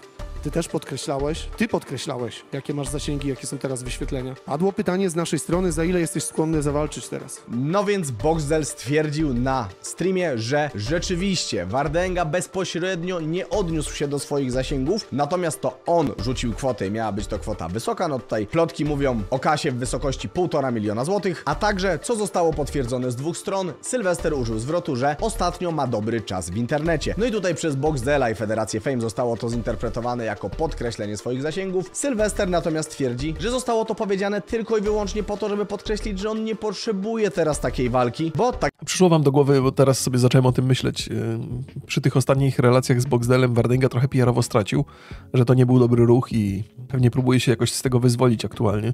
To Wardęga chyba czuł, że sobie zaszkodził tam wracając do tych relacji. Ale potem, jak się pojawiła ta rozmowa na gali, mm, gdzie tam zarzucano Wardędze, że jest nieprawdomówny, to pomyślałem sobie, wtedy pomyślałem, o kurde, no to się nieźle wpakował, ale może to było wyreżyserowane, w sensie takim, że ci włodarze z gali chcieli mu zaszkodzić, czyli opowiadali jakieś rzeczy, które mogli równie dobrze opowiadać rzeczy, które nie miały miejsca, tylko po to, żeby wizerunek y, Wardęgi podważyć. Inna sprawa, że to jest także w ich interesie, jakby podważając ten wizerunek mogą taniej walkę mu, y, taniej walkę kupić od niego, nie? bo to oni mu płacą za to. Więc tam wszyscy mogli ściemniać tak naprawdę. Trzeba, trzeba, trzeba teraz, nawet jeżeli są prowadzone publicznie jakieś rozmowy między dwoma osobami i są te rozmowy przeprowadzane przy tłumie ludzi, to można spokojnie wychodzić z założenia, że któryś z nich może z premedytacją kłamać. Że ludzie już do tego stopnia e, manipulują i oszukują, że nie boją się kłamać prosto w oczy. To już jest tak, taki, taki rodzaj środowiska. To nie jest proste kłamać komuś prosto w oczy. tak jak zostało zacytowane, ma po prostu dobry czas w internecie. Później jeszcze Sylwester dodał, że jest zaskoczony tym, że Boxdel przyznał to na live i że najprawdopodobniej Michał Baron będzie miał za tę wypowiedź problemy, ponieważ włodarz przyznał, że Krzysiek Rozpara miał zachować się nieprofesjonalnie. Co do interpretacji słów Sylwka, no ja myślę, że największym problemem tej sytuacji było właśnie to, że można było je rozumieć dwojako. Mówiąc, że ma dobry czas w internecie, no pewnie, że chodziło też o to, że aktualnie ma spore zasięgi. Sylwester natomiast twierdzi, że chodziło mu o coś innego i to też może być prawda, ale jak rzeczywiście te negocjacje wyglądały, nigdy się nie dowiemy. Odnośnie zachowania Boxdela na livestreamie, to Sylwek stwierdził, że taki Boxdel jest naprawdę, a na pewno to, co właśnie zobaczyliśmy podczas trwających aferek, jest o wiele bliższe realnemu obrazowi włodarza, który zdaniem Wardęgi miał zrzucić maskę. Z jednej strony boję się, że y, coś tutaj idzie w innym kierunku, ale z drugiej strony może po prostu Boxdel zrzucił maski i w końcu jest sobą? Nie wiem właśnie jak to interpretować. Choć co ciekawe, obserw A w ogóle interesujące. Jeżeli to jest prawdziwy Boxdel, taki ruchliwy, może, może tak jest, no. Każdy z nas, nawet na takim moim poziomie, no, trudno być sobą do końca, bo nie, nie zawsze, nawet jak mamy dużo lat, nie do końca rozumiemy, kim jesteśmy. Wydawało mi się, że, że to jest też tak, jeżeli on tu jest sobą dopiero teraz, nie, nie, nie mam pojęcia. Nie mam pojęcia, co, co to... To jest spora niespodzianka, że wszyscy mówią, oj, wygląda jak naćpany, a, a Wardęga mówi, no wreszcie jest sobą. No nieźle. Obserwowanie zachowania włodarza spowodowało, że Sylwek się martwił. Wiele razy pauzował streama Boxdela i pisał do różnych osób, żeby się upewnić, że ktoś z nim jest, albo że ktoś do niego przyjedzie. Pisał chyba do realizatora, pisał do Ulfika, pisał do Wojtka Goli. Nie znamy oczywiście treści tych wiadomości, ale wyglądał na zmartwionego i wszystko wskazuje na to, że obawiał się, że Boxdel powie o kilka słów za dużo, czego jak rozumiem konsekwencje mogły być znaczące. No Może, może nie obawiał się, to już jest też takie, już tutaj Gimper podrzuca nam takie A może, bali, może Wardęga się troszczy o Boxdela, ponieważ boi się, że Boxdel powie coś za dużo, że ujawni jakąś tajemnicę, której już absolutnie nie powinien ujawniać. To pozostawia taki, takie przypuszczenie, pozostawia, że to, co teraz widzimy i to, co jest taką wielką sensacją w internecie, to jest tylko czubek góry lodowej i że tam pod spodem kryją się jeszcze gorsze rzeczy. Nie wiem, jakie rzeczy mogłyby być gorsze w tej sytuacji tutaj, e, ale no, możemy mieć takie przypuszczenie. I też nag- nagle wszyscy się martwią o Boxdela. Najpierw mu obsmarowują dupę, nagrywają go na bieżąco, rejestrują, zbierają haki, a potem jak chłopakowi odbije i zaczyna nagrywać jakieś rzeczy durne albo robić różne dziwne rzeczy na live, to wszyscy, o, martwię się, zadzwonię do jego matki, babki, ciotki i wujka, żeby go ratowali, bo może coś, no, no come on, no. Przecież, cholera. Dobrze, z istotnych takich informacji, które jeszcze padły na tym streamie Sylwka już po tym, jak rozłączył się z Boxdelem i też po tym, jak już również Boxdel zakończył swojego streama, to dowiedzieliśmy się m.in., że federacje freakfightowe mają być zafiksowane na punkcie opinii na wykopie, dokładniej na tagu Fame MMA. A także, że wielu z pracowników tych federacji ma swoje konta na wykopie i incognito nawzajem sobie tam dogryza i ludzie bawią się tam między sobą różne wykopowe gierki. Oprócz tego wiele razy podkreślał, że Dlaczego, dlaczego na wykopie akurat są zafiksowani? Podejrzewam, że to z jednej strony może być jakieś ego, że chcą, żeby wszędzie o nich dobrze mówili, ale y, chyba bardziej sensowny argument jest taki, że na wykopie można nieźle zarobić. W sensie, że tam w społeczności wykopowej jest bardzo dużo potencjalnych widzów fejmu. I że oni tam przyjdą i, i kupią, kupią bileciki, więc warto trzymać reputację fejmu na wykopie na odpowiednim poziomie. To nie musi być super pozytywna opinia, ale też nie może być skrajnie negatywna. Nie? To muszą angażować ludzi na wykopie w to, no bo jak ludzie są rozemocjonowani, nieważne czy w pozytywny, czy w negatywny sposób, to kupią te, te, te bilety, żeby zobaczyć, co tam się dzieje. Więc oni się stamtąd wywodzą. To w ogóle jest inna historia. Być może się wywodzą stamtąd, to, to, to, to nie jest do końca istotne, ale to, no to jest potencjalna grupa odbiorcza. Zdecydowanie. Co do tego e, trudno mieć jakiekolwiek wątpliwości. Nie? Mają interes w tym, żeby mieć dobrą opinię na wykopie. jest zmęczony już tym wszystkim, chce się wycofać z tego świata, czeka aż, tutaj cytat, zostanie uwolniony, co jak rozumiem i co jak wynika z kontekstu rozmowy z Boxdelem, dotyczy wiążącej go nadal umowy z Fame MMA, którą Sylwester chce rozwiązać, tak żeby nie mieć żadnych zobowiązań nad sobą i powiązań z tą marką. Ma doprowadzić finalnie do tego, że Sylwek trochę ucieknie z tego świata i będzie mógł go oglądać, jak to sam określił, za szyby. Oprócz To też jest y, ciekawy wątek i to jest to, o czym wspominałem wcześniej, że Fame y, może sporo stracić na tej całej aferze, bo dzisiaj ci duzi, duzi influencerzy, którzy mają jakieś znaczenie, w ramach poszukiwania mm, pozytywów, jeżeli chodzi o budowanie swojej reputacji, będą się w widowiskowy sposób wypisywali z Fame MMA. Że ja, y, Konopski się wypisał, jakby radykalnie powiedział, że nie będzie uczestniczył we freak fightach i nie chce mieć z nimi nic wspólnego.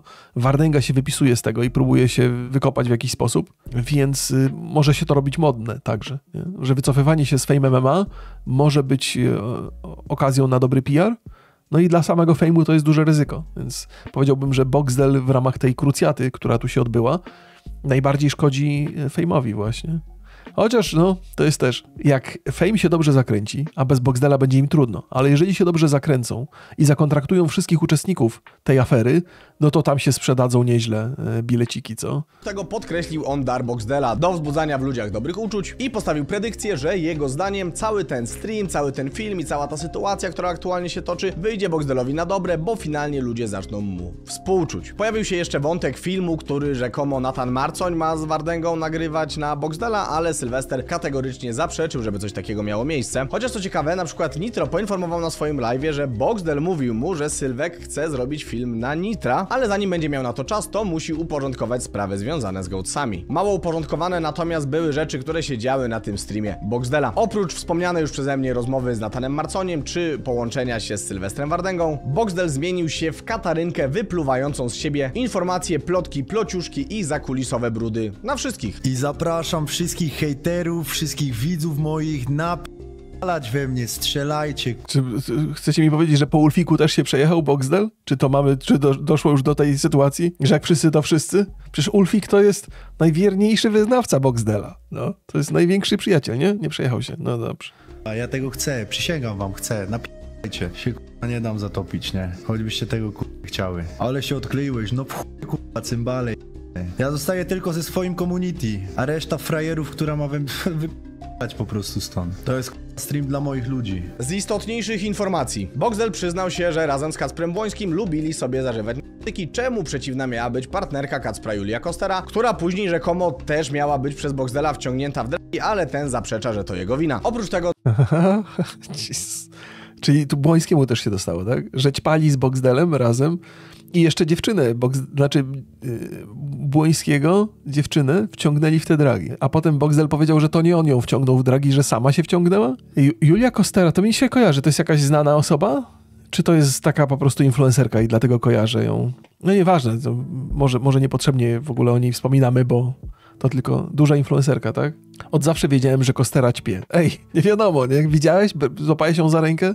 No, dob no dobrze, no, no to już wychodzimy z takiego założenia, że wszyscy tam ćpają i nie ma, nie ma ucieczki, co? To jest po raz kolejny, to jest proszę nie ćpać. To, że oni ćpają i osiągają sukces, to nie jest dowód na to, że narkotyki pomagają w czymkolwiek. To, to zobaczycie za parę lat, jak oni wszyscy będą wyglądali.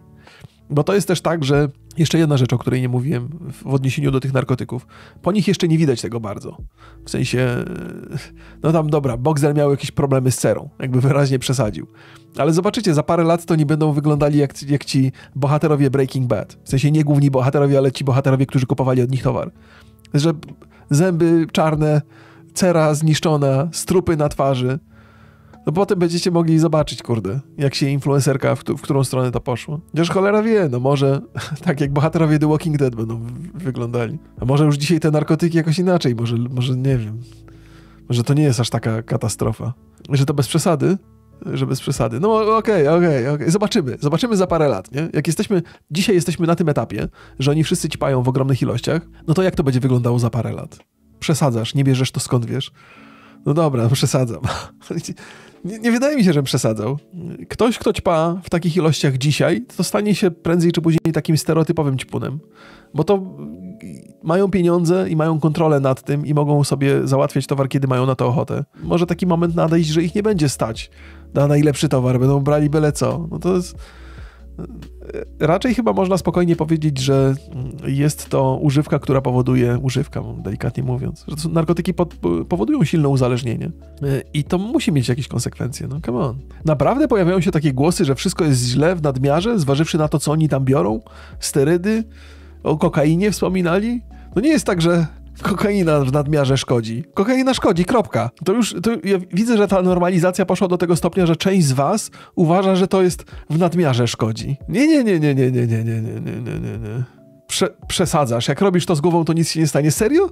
Wy mówicie serio? Czy, że w ogóle mamy tę dyskusję, to ja nie jestem, nie, ja nie wierzę. Ja zaczynam podejrzewać, że tu część osób też bierze regularnie jakieś, jakieś środki i teraz opowiadają to, żeby sobie racjonalizować. No nie, no z, z, no nie, no zlitujcie się. Nie, tr trolujecie mnie, prawda? Bo ja, ja faktycznie, no nie, nie, nie wiem, nie biorę, no, nie mam własnych doświadczeń. Chrzestnym jego syna. Ale jak sam dodał, jest nowym ojcem chrzestnym, ponieważ nie widuje się z tym dzieckiem, nie przyjechał na jego urodziny i czuje, że powinien Rafoniksa i jego dzieciaka przeprosić, ale zamiast do nich zadzwonić to zrobić, woli mówić o tym na streamie. Ja powiedziałbym, że nawet te niektóre komentarze są właśnie dowodem tej normalizacji, że ona już następuje i, i, i ma miejsce. I w tych materiałach tutaj, o tej całej sprawie, za mało się krytycznie mówi na temat narkotyków. Ja jestem ostatnią osobą, która powinna o tym mówić. W sensie ostatnią. Może nie jestem ostatnią, nie mam doświadczeń, ale ktoś powinien o tym poważnie mówić. Że to jest, to jest większy problem. To, że oni się tam bawią w pyskówki w internecie, że się podsłuchują, to jest, to jest pół biedy. To, że oni opowiadają o narkotykach jako normalnej i naturalnej części dnia, to jest najbardziej negatywna rzecz tej całej afery. Żyćko. Twierdzi też, że Wojtek Gola jest na niego zły, bo powiedział na swoim filmie, że Gola kolaborował z Dubielem, ale podczas streama był w takim nastroju, że dodał, że go to bie. Co z golą? Nie wiem. Wojtek y, jest chyba na mnie zły za to, że powiedziałem o e, tej historii kolaboracji z Dubielem.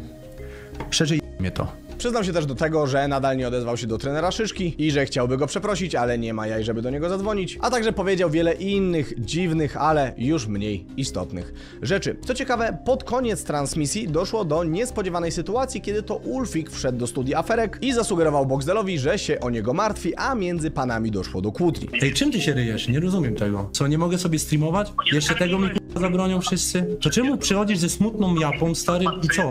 Bo się o ciebie co, stary, bo k***a, chłopie? Dziwnie to wygląda. No może dziwnie to wygląda, tak, ale ja chcę tak robić. Chcę taki być, bo taki jestem, k***a, rozumiesz? Większość osób odebrała zachowanie Ulfika jako lojalne i stwierdzili, że Nie powiedziałbym, że to jest lojalne. To jest takie e, wjechał rycerz na białym rumaku. Jak już takich rzeczy się nie załatwia publicznie, nawet jeżeli chcesz kogoś wesprzeć, to nie robisz tego tak, żeby wszyscy to słyszeli. Tylko mówisz, ej słuchaj, możemy pogadać? Zrobisz sobie przerwę na minutkę? Mam, mam, mam do ciebie sprawę. Nie? A nie, że się tam, wiesz, martwię się o ciebie, martwię się.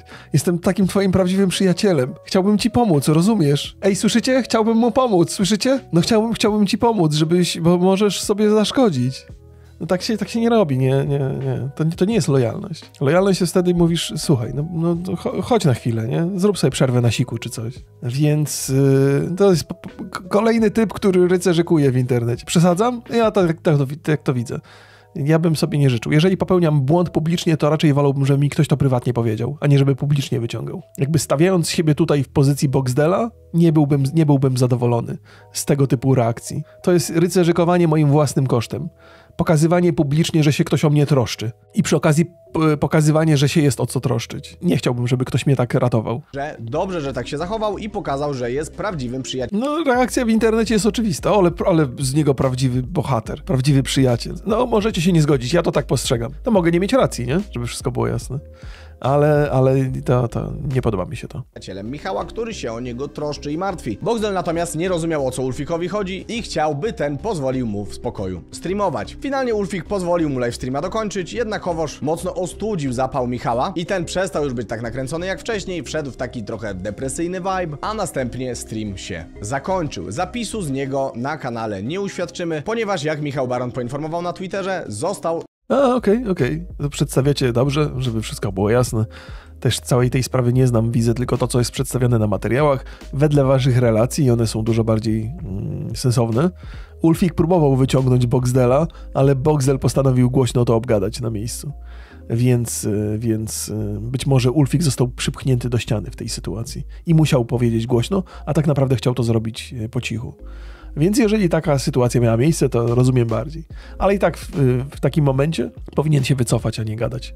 Ale, ale mniejsza z tym. Rozumiem, że można go podejrzewać o dobre intencje. on usunięty przez Ulfika, ale chyba Boxdel jest z tego, co się wydarzyło, całkiem zadowolony, ponieważ zapowiedział, że jutro kolejny stream. Jeżeli takowy się wydarzył, to teraz Gimper z przyszłości dogra wam update, bo dla zachowania timeline'u jest y, 1 kwietnia 14.50, kiedy to nagrywam, więc no mamy jeszcze cały długi wieczór przed publikacją tego odcinka. Publikacja ma być drugiego we wtorek, więc jeszcze sporo może się wydarzyć. Czy się wydarzyło?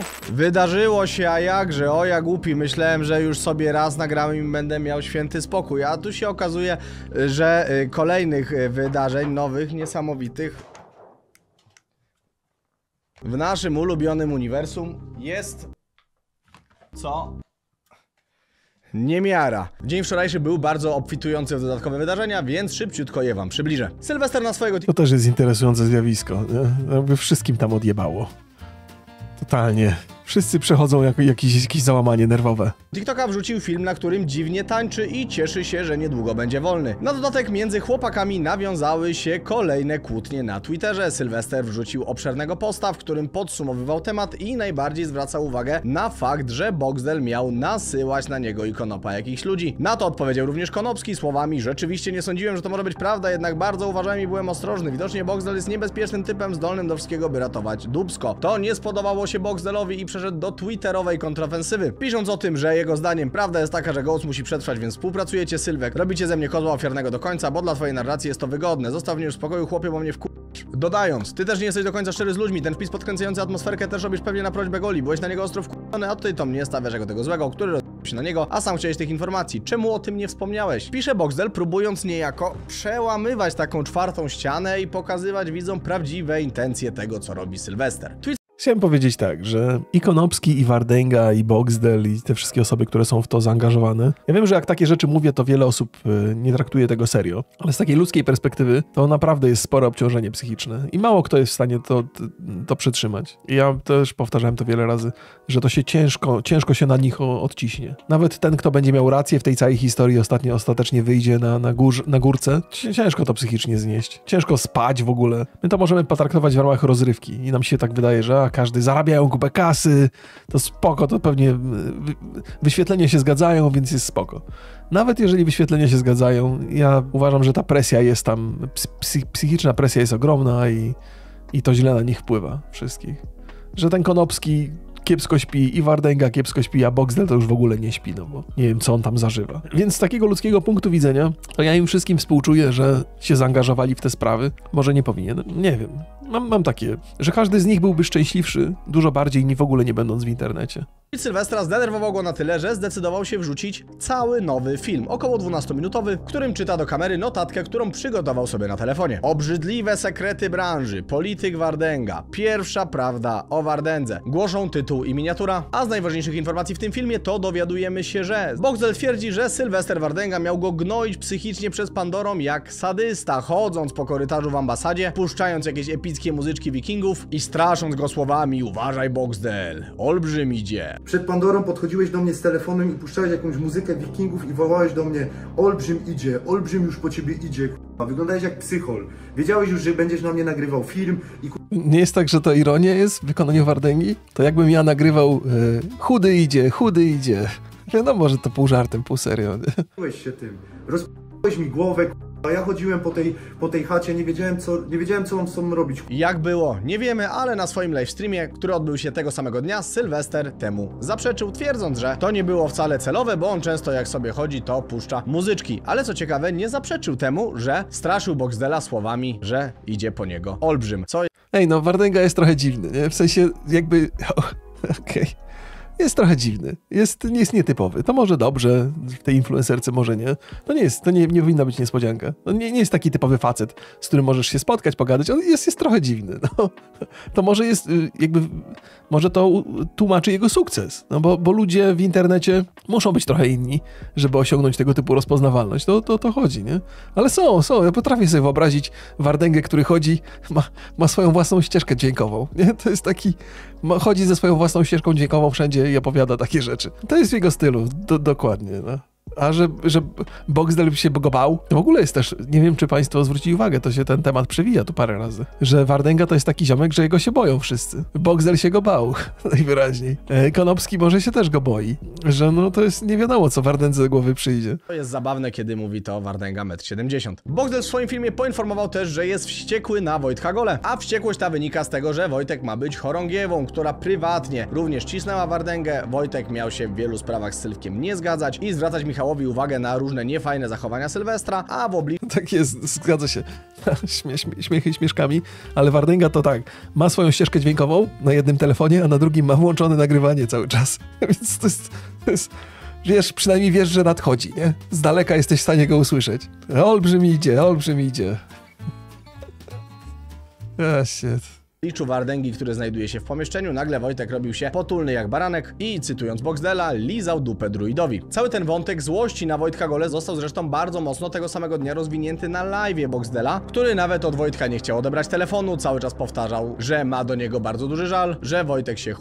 zachował i to, że teraz trzyma z Sylwkiem wynika tylko ze wspólnoty interesów i chęci robienia przez nich goats. Przede wszystkim witam tutaj biseksa. O k- Jezu, przecież Wojtek płacze. Dla goli to jest strasznie jakby... To jest tak, to jest też dowód na to i to mężczyźni o tym wiedzą, jeszcze w chłopięcym wieku się zapoznają.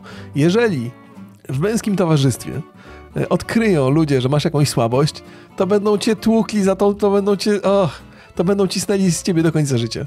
I co zrobił, co zrobił Gola? To jest właśnie tak, jak nie masz właściwych kolegów w młodości, to ci tego nie uświadomią. Oczywiście pokazał całemu światu, że on się te, tej łatki biseksa, że go, to, to go boli, że to jest dla niego nieprzyjemne. No i co się dzieje? No co się dzieje, no? No cały czas o nim mówią, że jest teraz biseksem już nie ma ratunku. Ech, no tak to jest. No jak nie masz dobrych kumpli w młodości, to po prostu takie rzeczy cię w dorosłości spotykają. A tak swoją drogą, ja Boxdela nie znam e, prywatnie, nie miałem chyba okazji nigdy z nim słowa zamienić. Natomiast sporo tych ludzi, którzy tutaj i Wardęga i inni ludzie, którzy uczestniczą, to gdzieś tam miałem okazję ich poznać i pogadać. I to są fajne chłopaki. W sensie są dziwni, żeby wszystko było jasne. Ale są normalne chłopaki, można z nimi pogadać o, o, o no- normalnych rzeczach. To nie jest tak, że oni przez pryzmat tej influencerki, że mają jakaś woda sodowa czy coś. Normalnie rozmawiają jak o normalnych problemach, normalnych sprawach. Nie jest tak, że tam nic nie robią w życiu, tylko planują, gdzie by tu Boxdela dopaść albo Konopskiego dopaść. Tak się po prostu potoczyła ich kariera, że, że o te sprawy zahaczają. Ale to są normalne chłopaki, no. Będziesz ciągnął Wardędzę tylko i wyłącznie dlatego, bo macie wspólny projekt i nie chcesz, żeby spier...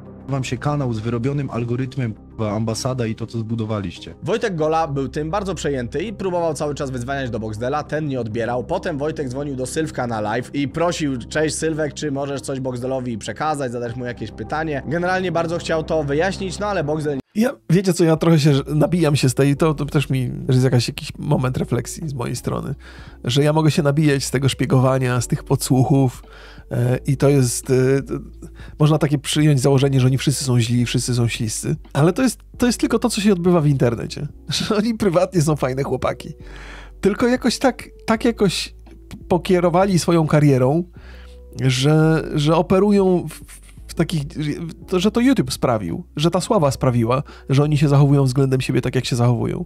Że to na zewnątrz, to publicznie jest pokazywane najgorsze, najgorsze możliwe ich cechy. Że, że indywidualnie, że to są nadal te same chłopaki, co jak byli młodzi, zresztą widać te ich takie e, przedszkolne podejście do, do nazywania swoich e, instytucji, jakieś watachy, jakieś, jakieś e, oddziały, jakieś czarne orły. To wszystko jest takie bardzo, bardzo dziecinne. Natomiast, no, to wszystko wynika z tego, z tego co internet y, z, zrobił wokół nich. To, co zbudowali wokół siebie sami przy użyciu internetu.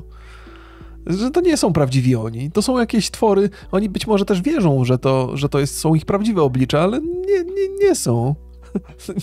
To, to, nie są. to nie są prawdziwi ludzie, to nie jest prawdziwy Boxdel, to nie jest prawdziwy Wardenga. Kompletnie nie ma nic wspólnego z rzeczywistością. Może to dobrze dla nich, chociaż oczywiście psychicznie ich obciąża to bar bardzo mocno, ale to są, stali się niewolnikami trochę swoich wizerunków. Nie był zainteresowany rozmawianiem. Mi się nie chce gadać z Golą. Nie będę z tobą gadał. Nie chce mi się. Bo ty To już wiesz, nie mogą być normalne chłopaki teraz, Wiesz, co odpier... na zewnątrz. telefon. Oprócz tego Michał twierdzi, że nikogo na Konopa nie nasłał i opowiada wokół tego historię, że ludzie, którzy jechali do Konopa, żeby mu coś zrobić, to mieli taki plan, żeby najpierw coś zrobić Konopowi albo go Ale co to za argument, że nie, nie, ja ich nie bronię, tylko staram się zwrócić uwagę waszą na to, że to nie chodzi o to, żeby łagodzić ich, y, bo, bo to, co przedstawiamy publicznie, staje się częścią, y, staje się tym, kim jesteśmy. nawet jeżeli, jeżeli gdzieś tam pod spodem jesteśmy kimś zupełnie innym, to nie ma żadnego wpływu. To jest tak, nie możesz y, dokonać przestępstwa i powiedzieć, nie, to nie byłem sobą. To to nie jest linia obrony, ja też ich nie bronię. Nie? Tylko żebyśmy mieli takie zrozumienie przynajmniej dlatego, że te wszystkie wizerunki zostały ukształtowane w jakiś sposób i to, to, to nie są prawdziwi ludzie. go złapać albo ustalić jego adres i dopiero później przyjść z ofertą do Boxdela, a on sam nigdy niczego nie zlecił. No i z tą wersją wydarzeń jest kilka problemów, bo kłóci się to z tym, co Boxdel mówił wcześniej, kłóci się to z tym, co mówił na temat sprawy Nitro i kłóci się też z zasadami rozsądku. Przede wszystkim wersja opowiedziana przez Nitro Zyniaka brzmi bardziej jakby ci goście, którzy chcieli dojechać Konopskiego, to nie wiedzieli nawet do końca za co go dojeżdżają i dopiero jak Nitro im wyjaśnił sytuację, no to odpuścili temat. I to stoi w sprzeczności z tym, co mówi Boxdel, a na dodatek Sylwek na live te rewelacje skomentował takimi słowami. Aha, czyli oni sami chcieli i później chcieli ci przynieść, rozumiem, Konopskiego i załatwiliśmy. A czy on nie gadał wczoraj inaczej, że miał chore pomysły, ale na szczęście nie zostały zrealizowane? Ten wątek myślę, że będzie jeszcze bardziej rozwijany, bo myślę, Tak jak też patrzę na wasze komentarze, one pewnie w YouTube, na YouTubie też się będą przewijały bardzo często. To, to, z czym mamy do czynienia tutaj, to jest tylko i wyłącznie rozrywka. Nikt z tych ludzi, którzy tutaj się wypowiadają, nie poniesie jakichkolwiek konsekwencji. To nie jest, że sąd się odbywa niniejszym, że ludzie oglądają te materiały i podejmują decyzje, że tak ludzie się w internecie trochę zachowują oglądając te materiały jak ława że obejrzą wszystkie materiały i ostatecznie podejmą decyzję, kto jest dobry, a kto jest zły. Nie, to, to nic, to nie ma takiego, nie ma miejsca. To nie jest tak, że to się tak ogląda trochę jak mecz piłkarski, w którym i tak się, i tak, i tak wynikiem będzie remis. To, to, to, to nie jest tak, że tu się toczy, że tu zostanie podjęta publiczna decyzja na temat przyszłości jednego z tych ludzi. To jest, to jest, taka, to jest taka rozrywka bez rozstrzygnięcia. że dla Sylwestra i dla Konopa jest to mocny argument No bo ludzie mają swoje życie i nie obchodzą ich ludzie z neta. Naprawdę. Teoretycznie każdy ma swoje życie, ale siedzi, siedzą i oglądają, przecież to miliony wyświetleń ma. To tak jak się oglądało, nie wiem, na wspólnej, jak ludzie oglądali, czy jakiś klan jeszcze tam przed internetem. Można by powiedzieć, ludzie mają swoje życie i nie obchodzą ich tam rzeczy z klanu, ale wszyscy siedzą i oglądają to. Jakieś tam całe pokolenia to ogląda. No pewnie, że nikogo to nie powinno obchodzić. To jest, to jest w ogóle żałosne i śmieszne, że my to oglądamy. Ale no ludzie są wkręceni strasznie w tą historię. I to, to jest tak, że my mamy może do tego dystans i wiele osób, które komentuje ma do tego dystans, ale autentycznie są ludzie, którzy super się w to angażują. Stoją po jednej stronie i tylko czekają, żeby dowalić temu drugiemu. moment na to, że Boxdel jest złym człowiekiem i będą chcieli jak najmocniej to podgrzewać. Oprócz tego natomiast Boxdel otworzył kolejny wątek, mianowicie film Konopskiego o Kidropie. Konop, bądź obiektywny i zajmij się też materiałem o Kidrop, który miał już wlecieć dawno temu. Ale może twój Menago, który załatwia ci deale, ma również Kidrop na wyłączność i zabronił ci wrzucania czegokolwiek, żeby jego agencja Storm Media nie oberwała rykoszetem. No bo gdzie jest ten film? A nie, nie, żebyśmy się dobrze zrozumieli. To nie, nie chodzi mi o to, że ja wam, tutaj moim widzom zarzucam, że wy to oglądacie. No wiadomo, że jesteście u mnie na streamie, to wpadliście do mnie. A to, że ja po- pokazuję głupoty, to już nie jest wasza wina, nie macie za bardzo wyboru. Więc słuchajcie, przepraszam, że od czasu do czasu was wciągnę na taką minę. Tu chodzi o to, żeby pogadać i nawet czasami można pokazać głupotę i jakieś sensowne rozmowy poprowadzić w tej sprawie, więc, więc tutaj aż takich strasznych wyrzutów sumienia nie ma. To nie jest tak, że ja was oskarżam. Chodzi mi o to, że jednak miliony ludzi to obserwuje. I nawet jeżeli ktoś tutaj na czacie poczuje się oburzony, że ja mu zarzucam, że go to interesuje, to, to nie, to nie, nie o to chodzi. Chodzi mi o to, że przyjmijmy, nie? Taką, że oprócz was, to tam setki tysięcy ludzi to ogląda, nie wszyscy są nieletni. Więc y, tego typu afery skupiają zainteresowanie ludzi bardzo, bardzo mocno. I to jest temat dosyć ciekawy, bo rzeczywiście tego typu materiał był zapowiadany i rzeczywiście Konopskiego obsługuje firma Storm Media, która jest jedynym i bezpośrednim dystrybutorem deali związanych z Kidropem na Polskę. Jeżeli ktoś w Polsce robił współpracę z Kidropem, na 99% robił to przez Storm Media. Było to zresztą Konopskiemu wyciągane w momencie, kiedy zaczynał zapowiadać ten film, no i wideo rzeczywiście nigdy nie zostało opublikowane. Pojawił się zarzut ze strony Boxdela, że Konopski filmu nie opublikował, bo Storm Media taką decyzję na nim wymusiło. I w stronę kanału Commentary, który próbuje kreować się na niezależnego i antysystemowego, jest to duży zarzut, który mam nadzieję Konopski jakoś odbije. Oprócz tego Sylwester No tak, tak. wi- Widzę, że to jest też sprawa, która wiele osób i- interesuje, bo powiedziałbym, że ona jest taka, to jest jeden z mocniejszych zarzutów, bo wszyscy trochę zapomnieli o tym ki- kidropie. Boxel go wyciągnął odrobinę. Tak, to się trochę, trochę może się rzucać cieniem na reputacji Konopskiego. Yy, I też yy, podsumowując różne tu argumenty, które zostały użyte i te ciąg tych sytuacji i zdarzeń, to Konopski trochę, trochę traci, być może, chociaż no, nie wpływa to na jego oglądalność, ale myślę, że cierpi trochę jego reputacja na tym. Najpierw te rozmowy z Boxdelem, teraz ten cały keydrop, więc on tam będzie musiał trochę walczyć, powalczyć o swój wizerunek. Wardęga podczas wczorajszego live'a pokazał prywatne wiadomości z Wojtkiem Golą, tłumaczące dlaczego teraz między nimi jest ok i lepiej naświetlające jak wygląda relacja między chłopakami. Hmm, a jeszcze jest jedna sprawa, to może jest sensowna uwaga, że może w kwestii tego keydropa toczy się jakieś śledztwo. I jeżeli toczy się śledztwo, to być może Konopski nawet gdyby chciał publikować ten materiał, to nie może. Być może taki wątek istnieje, no bo jednak państwo trochę się zainteresowało, tą, zainteresowało się państwo tą sprawą. Więc to może być inny aspekt tej historii. Ja nie mówię, że tak jest na pewno, nie? ale to nie ma co tak od razu wieszać psów na Konopskim, bo może tam coś więcej się dzieje, o czym nie wiemy. chłopakami. Sylwek twierdzi też, że podchodzi do chłopaków inaczej i Gola zawinił tyle, a Wardęga tyle. A Boxel odpowiedział na to na Twitterze. Haha, Gola plastusiu, Sylwkowi piszesz jedno, a mi mówisz coś innego. Jak ty w ogóle mogłeś moralizować moje krzywe ruchy samemu będąc krzywusem? Zapierdol więcej mów motywacyjnych ludziom z Invelo Energy, jak być dobrym cool guyem. Oprócz tego wiele osób zwróciło uwagę na to, że Sylwester bardzo często do wątku Boxdela próbuje dokleić fame i jak najbardziej wciągnąć w to federację. Póki co raczej nieśmiało, ale w losowych momentach pozwala sobie na komentarze, które spostrzegawczy obserwujący wyłapali. Czyżby początek końca Fame? Nie mam pojęcia, ale wydaje mi się, że mają spore kłopoty. Tego typu kwestie Wardęga też jest pamiętliwy, no bo jemu się tam e, trochę dostało za tą rozmowę z, z rozparą, tak? Podczas tej gali, więc on tak nie odpuści, nie zostawi tego, tak? Jak podejrzewam, że, on jest pamiętliwy i, będzie ich tak kąsał trochę delikatnie. No tak jak mówiłem, sam, sam to zresztą mówiłem, że Fame MMA może dużo stracić na, tym, na, tym, na tej całej aferze. Co mu się dostało Wardędze? No już nie będę wracał do tej historii, on PR-owo trochę stracił, bo tam mm, zarzucono mu kłamstwo podczas gali publicznie i trochę nie był się w stanie przed tym obronić. Nie wiem, czy to kłamstwo było zasadne, czy było niezasadne, to nie o to chodzi, no ale tam trochę dostał po nosie i to było omawiane tam, powiedzmy, dosyć szeroko w internecie. od Sylwka padło sporo, nawet Wojtka Gole pytał o to, no jak tam e, włodarze, inni jak tam Fame. No i widać, że Sylwestrowi cały czas ciąży umowa, którą z Fame'em ma podpisaną i chce się z niej wyrwać. Twierdzi, że ma założony kaganiec, więc bardzo możliwe, że chce opublikować więcej informacji i uderzyć jakoś w tą federację. Ale jak rozumiem, póki co nie może tego zrobić ze względu Że ta rozmowa to była ustawka ze strony Fejmu, no to tym bardziej jakby Wardęga ma powód, żeby mieć y, pretensje, nie? Y, I trochę się tam Mścić to może za mocne słowo, może nie powinienem tego, ale, ale może, ma, może ma, ma podstawy, żeby, żeby fejmu nie lubić. O tak. Ja tylko mówię o tym, dlaczego, dlaczego bo, potencjalnie, dlaczego Wardenga obserwuje tę historię w kontekście Fame MMA. Nie ustawka, tylko skłamali. No, no, no, no dobra, no okej, okej, no to to, że komuś udowodnią kłamstwo, to nie znaczy, że to przestaje być kłamstwem i że miał złe intencje. Czy, czy, miał, czy, miał, czy miał dobre intencje, nie? No to jakby Wardenga wiedział, że to było kłamstwo od samego początku, bo uczestniczył w tej rozmowie, e, tylko nie mógł do tej pory tego udowodnić.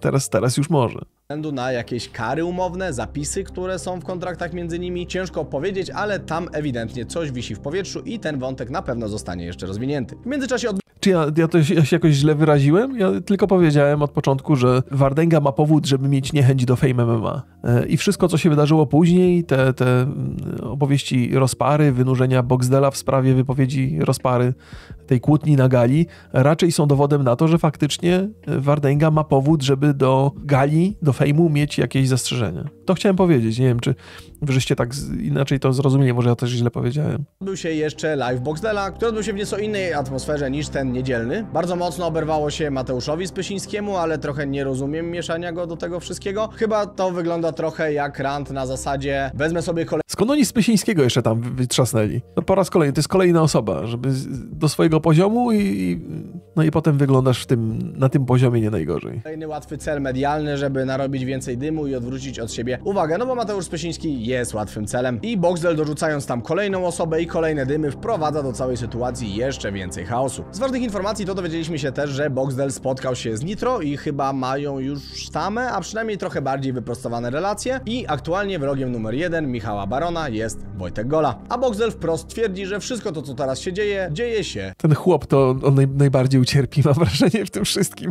Instynkt mi podpowiada, że ten chłop to najbardziej się wycierpi w tej całej aferze. Oni wszyscy dookoła są przyzwyczajeni do tego, że, że się po nich jeździ, a on, on jakoś tak, dla niego to jest jakaś niespodzianka. przez Wojtka. Dlaczego jestem taki zły? Bo powiedział Gola o tym Dubielowi i to mnie wkurwia po prostu. Bo nie byłoby w ogóle tego wszystkiego, gdyby nie to. Nie byłoby nawet mowy o żadnym filmie Nitro, Dubie, y, Nitro i Dubiela. Nie byłoby tego. Jest to zabawne, jak przypomni się ten fragment z Cage'a sprzed 7 miesięcy. Ale łączy nas tak dużo rzeczy. Tyle byliśmy już wspólnie, stary. A Że chłop nie zostawił tyle. Nie, nie mógłbym cię Bo nie zostawić. widziałem No bo cię uwielbiam, stary. No nie, nie, nie, od, nie odpuliłbym cię. O, ile to jest warte. A ja to sobie żartowałem parę razy, chyba jeszcze jak sprawa Nitro była, że, że chłopaki źle dobierają kumpli. I to jest, to jest prawda, że w tym środowisku to nie ma kolegów, nie ma, nie ma przyjaźni. Już zapomniałem w ogóle o tym, ale to, to się potwierdza. Tutaj... A, rany boskie, co za ludzie. No. No i tak się to toczy. Ja pewne wnioski nagrałem już wczoraj i one co do zasady się bardzo nie zmieniły, więc teraz niech Gimper z przeszłości wam o nich opowie. Więc spróbujmy sobie to wszystko podsumować. Ja i moje 17 stron notatek z tym wszystkim. No widzicie, chłopak się napracował. Ej, w ogóle pomyślałem sobie, że, że Izakowi się, to, że Izak wykonał dobry unik w dobrym momencie, nie? Jakby nie mam żadnych złudzeń, że tam, Izak absolutnie nie ma nic wspólnego z niczym, co tam się dzieje, ale tam się, no, mogło się to źle potoczyć. W dobrym momencie, w dobrym momencie się wypisał z tego. No, czyli instynktu samo, samozachowawczego nie stracił. Jeżeli pamiętacie moje filmy, w których komentowałem aferę Pandora Gate, to z pewnością wiecie, że dosyć długo Boxdela broniłem. Twierdziłem, że dostał za duże konsekwencje tego, co się wydarzyło, a nawet popełniłem na zgrzycie wspólnie z Rewo wywiad, który przez moje podejście był wręcz zbyt łagodny do Boxdela, przez co został odebrany jako wybielanie go. Dziś z perspektywy czasu na szczęście patrzę na to nieco inaczej. I Ale to jest, jest, jest to prawda, e, to co mówi Gimper o swoim zachowaniu i Konopsk, u Konopskiego też to było widać, że, że naprawdę ci ludzie Boxdela bronili trochę.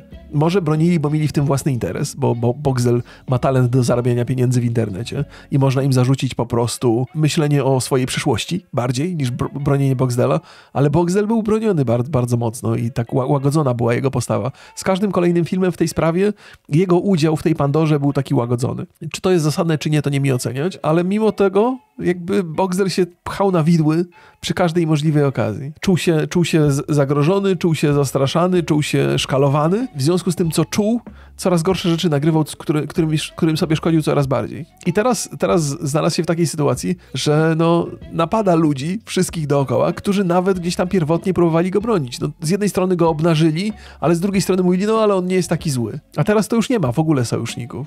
Nie wiem, czy można ich nazwać sojusznikami, bo wiecie, to jest tak jak, ja mam zawsze takie podejrzenie, że ktoś udaje obrońcę, ale tak, z, tak naprawdę z, z tyłu knuje, żeby, żeby jeszcze dokopać. Może to jest coś, co Boxdel widział, że oni wszyscy udają obrońców, a tak naprawdę próbują go zniszczyć. Trudno, trudno mi powiedzieć, co u niego w głowie się działo. Moim zdaniem wszystko, co się przez ostatnie 48 godzin wydarzyło, było dobrze zaplanowane. Wybranie sobie Natana Marconia jako medialnego oponenta w sytuacji, kiedy wszystkie gromy lecą w ciebie, było bardzo wygodnym zagraniem, bo Natan jest prostym przeciwnikiem medialnym, bo jest faktycznie gościem, który często kłamie, ściemnia i wymyśla, a także przez wiele osób nie jest traktowany poważnie. W związku z tym wystarczyły tak naprawdę minimalne dowody i zaangażowanie, by wykazać jego oczywiste kłamstwa. I to zagranie w połączeniu z reakcją na pozostałe zarzuty pod tytułem Tak, dobrze, przyznaję się, macie mnie, jestem powoduje dla Boxdela kilka rzeczy. Po pierwsze, spadek zainteresowania zarzutami, które są mu stawiane, ponieważ no, już się przyznał, wiemy, że jest złym człowiekiem, no to co tu więcej o tym gadać, prawda? Nie ma sytuacji, w której dwie strony walczą na argumenty, w związku z tym te kwestie przestają być takie interesujące. Natomiast Nathan Marcoń broni się jak lew, zapiera rękami i nogami, deklaruje publikowanie brudów na Boxdela i tworzy się z tego nowa afera, która będzie odwracać uwagę od tych wszystkich poprzednich zarzutów. Jednocześnie No dobrze, Madi, prze, prze, e, przeczytam tę twoją, twoją analizę. E, Punkt pierwszy. Wardęga, psychol z lasu, który ma wybujałe ego. Punkt drugi. Konopski to zarozumiały dzieciak, który za nic nie przyzna się do błędu, chociaż nie ma nic ciekawego do powiedzenia. Punkt trzeci. Nitro, patus udający moralizatora, a powinien być całkowicie odcięty od netu. Punkt czwarty. Dubiel to idiota, który powinien na zawsze zniknąć z przestrzeni publicznej. Piąty punkt. Boxdel, naćpany manipulator, który powinien leczyć się już u psychiatry. Widzę, że dużo osób się zgadza z tą, z tą opinią. Być może jest w tym trochę racji. Ja bym się nie, nie ważył na takie s- skrajne opinie, ale, ale może jest tak, jak mówisz. Jednocześnie zgadzam się z wnioskiem Sylwestra Wardęgi, że to, co Boxdel robi i sposób, w jaki się zachowuje, ma doprowadzić do tego, żeby ludzie tym wszystkim zaczęli być zmęczeni i po prostu machnęli na to ręką. Jednocześnie to, w jaki sposób się zachowuje, dostarcza ludziom dymy i content. Czyli poniekąd Boxdel trochę płynie na tej samej chmurce, na której długo utrzymywał się Nathan Marcoń, bo wiele osób sympatyzowało z nim Y, Ja nie jestem tylko pewien co do Nitro, ludzie dorastają. Ja powiedziałbym, że zaangażowanie Nitra w tę aferę na tym etapie świadczy o tym, że on się jednak nie zmienił za bardzo. Że to paku, pa, pakujesz się w to i wiesz, że się gówno do ciebie przylepi, ale pakujesz się, bo to jest y, opłacalne. Nie wiem, czy y, analiza Nitro jest trafna, ale powiedziałbym, że to, to, że on w tym uczestniczy, nie świadczy raczej o, dojrzało, o dojrzałości. Myśl zasady, no dobra, może i gada głupoty, może i nie jest najlepszym człowiekiem świata, ale dostarcza content, dostarcza dymy, jest zabawnie, kiedy się pojawia, coś się dzieje, także spoko, niech działa dalej i niech leci. I z mojej perspektywy, emocje, które ludzie mają w stosunku do Boxdela, znacząco się zmieniły. Z wściekłości i obrzydzenia, które były w jego stronę kierowane, aktualnie ludzi po pierwsze bawi to, co się dzieje, bo jest on strasznie odklejony, po drugie, większość tych sytuacji została doprowadzona do takiego absurdu i tak bardzo wszyscy dookoła zostali oblani gównem, że winy Boxdela rozmywają się w tym wszystkim, a również przez wzgląd na No, to jest chyba to, co mówiłem. I też nie mam, mam takie poczucie, że Boxdel tutaj działa bardzo instynktownie, że to nie jest przemyślana strategia, że z niego żaden y, strateg y, nie jest, ale, ale dobrze czuje internet, dobrze czuje, jak się, jak się ustawić, żeby to jakoś po nim zaczęło spływać. I tak, to sięgnęło tak, że to, to jest w ogóle, mo- można mówić, a wygląda jak naćpany, odkleił się, ma załamanie nerwowe, ale wszystko, co tu robi, raczej już dla niego szkodliwe nie jest. I ludzie zaczynają to traktować jako rozrywkę, to przestaje być poważne, to zaczyna być śmieszne, no bo jest trochę śmieszne. Tak, proszę Państwa, no nawet największy upadek w, w, internecie to jest dowód na to, że, że można to rozmyć i zrobić z tego żart. Swoje odklejenie wzbudza on współczucie, bo jak mówi stara zasada dobrych filmów, w których utożsamiamy się z bohaterem, nie lubimy bohaterów za to, że im wychodzi, tylko za to, że upadają i starają się wstać. I to nie jest pierwszy raz, kiedy Boxdel uderza w te nuty i robi to naprawdę dobrze, o czym zresztą świadczą wypowiedzi nawet Sylwka czy Nitra, którzy są na niego strasznie wkurwieni, ale zobaczcie jak o nim mówią. Boxtel, tak jak mówiłem wam na poprzednim streamie, że on ma niesamowity dar. Ja nie wiem, czy ja mam jakiś syndrom y, współczucia ludziom, którzy mają najgorzej w danym momencie, Ale mi na przykład jest żal Boxdela, nie? I tak to będzie się dalej kręcić i oczywiście Boxdel zostanie z łatką skandalisty i Ciekawe jak ludzie reagują, bo ja- jak ja mówiłem, że, że Boxdel nie jest taki zły, to mi się dostawało w komentarzach. To mnie ludzie napadali, jak to nie jest taki zły, czemu go znowu bronisz? Ci wszyscy, którzy go atakowali, go teraz bronią i nagle jest okej i oni są tacy empatyczni. Skrajnie kontrowersyjnego gościa, ale dla niego w tym momencie nie ma to większego znaczenia. On w tym momencie desperacko łaknie pozostać w internecie, pozostać na fali i być znaczącą postacią, która wzbudza emocje, różne emocje, polaryzujące jak to sam mówi. I wygląda na to, że póki co mu się to udaje. I ja czytam komentarze i widzę, że mnóstwo osób go aktualnie wyzywa, ciśnie i ma z niego bekę. Ale to w jaki sposób długofalowo wpłynie to na zarzuty, które były kierowane w jego stronę i jak bardzo je to rozmyło. Moim zdaniem wyjdzie mu na plus i tak jak jeszcze niedawno mogły pojawić się takie głosy, nadal się pojawiają, że no Boxdel wreszcie zniknie z internetu, to moim zdaniem absolutnie nie zniknie, tylko zmieni się po prostu w jeszcze większego skandalistę, wzbudzającego jeszcze więcej emocji. A na końcu tego łańcucha pokarmowego jesteście wy, widzowie, którzy zakupicie pay-per-view na walkę wieczoru Boxdel kontra Nathan Marcoń, która nie mam pojęcia czy jest w planach, ale jakbym sobie był federacją, to bym ją k***a jak najszybciej zorganizował i pozwolił panom wyzywać się ze sobą na konferencji. A Boxdelowi to jest bardzo na rękę i Nathanowi to jest bardzo na rękę i federacji to jest bardzo na rękę i widzom to jest bardzo na rękę, bo sobie zobaczą fajne show. I tak to się toczy. A jak to się będzie toczyć dalej, to wam będę przybliżał na odcinkach. Dziękuję bardzo serdecznie za uwagę. Idę się przejść z psami, bo się spociłem. Od tego wszystkiego mam nadzieję, że niczego nie pominąłem. Subskrybuj widzu kanał, jeżeli chcesz nie przegapić. No, jest, jest, jest to trafna analiza ze strony Gimpera na końcu. To może pójść w dwie strony. Albo Fame na tym straci, albo bardzo skorzysta. Ale wydaje mi się, że żeby, żeby skorzystał Fame na tym, to potrzebują takiego Boxdela, bo Boxdel to instynktownie rozumie i wie jak, wie, jak tę sytuację wykorzystać. To jest tak, pośród różnych ludzi, którzy omawiają tę aferę, to ja też nie mam jakichś tam wielkich zasięgów związanych z tym, więc są, są, są ludzie, którzy omawiają to i, i zyskają znacznie więcej niż ja. Dla mnie to jest taki właściwie hobbystyczne zajęcie tutaj bardziej. Ale no, bawi mnie to. Ale cie- ciekawa jest, ciekawy jest kierunek. To też jest takie mm, studium trochę widowni na YouTubie, do jakiego stopnia ludziom nie przeszkadzają rzeczy, bo nie przeszkadzają, nikomu to nie przeszkadza. Jaki jest Boxdel, jaki jest tam Wardęga, jaki jest Konopski, jacy oni są wobec siebie, czy się podsłuchują, czy się nie, nie, nie podsłuchują, to, to w ogóle nie przeszkadza ludziom. Zupełnie. Nie, nie wiem, czy to powinno przeszkadzać, czy nie. To, że ćpają regularnie, nie mówię, że wszyscy, ale część z nich ćpa i mówi o tym otwarcie, to też nikomu nie przeszkadza. Tak jest. Nie, nie wiem, czy 10, 15, 20 lat temu to byłoby, to by zamykało ścieżkę kariery? Pewnie by zamykało, bo nie było internetu takiego gdzieś tam poza internetem, jak takie afery wychodziły, to człowiek po prostu nie był zatrudniany, nie pokazywał się publicznie i tyle. Teraz to nie ma, nie ma żadnego znaczenia. Znowu coś Boxdel wrzucił, Boże. Liczyłem na to, że to się trochę skończy, ta cała historia tutaj. Chyba już nie, nie, nie ma nic, nic, nie ma nic nowego. Wszystko to, co żeśmy widzieli, to, co żeśmy widzieli. Zmienił tytuł, tak? Warnynga molestował kobiety dla korzyści majątkowych. Aha, okej. Okej. Okej. Y, Bo ja też patrzę z takiego ludzkiego punktu widzenia i myślę sobie, cholera, no psychicznie to musi być ciężkie dla nich, ale tak z każdą upływającą godziną zaczynam się zastanawiać, czy oni się już pogodzili z tym obciążeniem psychicznym i wychodzą z takiego założenia, ej, no to w zasadzie długoterminowo to i tak nie ma żadnego znaczenia. Nawet jeżeli dzisiaj mamy jakąś presję taką, to i tak są kliknięcia, są i tak oglądalność jest, potem sprawa i tak się ułoży, zrobimy Goats 2 albo coś w ten deseń, albo gala się rozwinie, fejma ludzie będą oglądali, będą się bilety sprzedawały jak cholera. Nie wiem, nie wiem jak oni patrzą, jak oni funkcjonują w tym świecie. Jak patrzą na, na to, co sami robią, co, co mówią, czy to jest problem jakiś, czy woleliby, żeby tego nie było, czy raczej im pasuje, żeby tak było. No nie dojdziemy, nie dojdziemy do tego.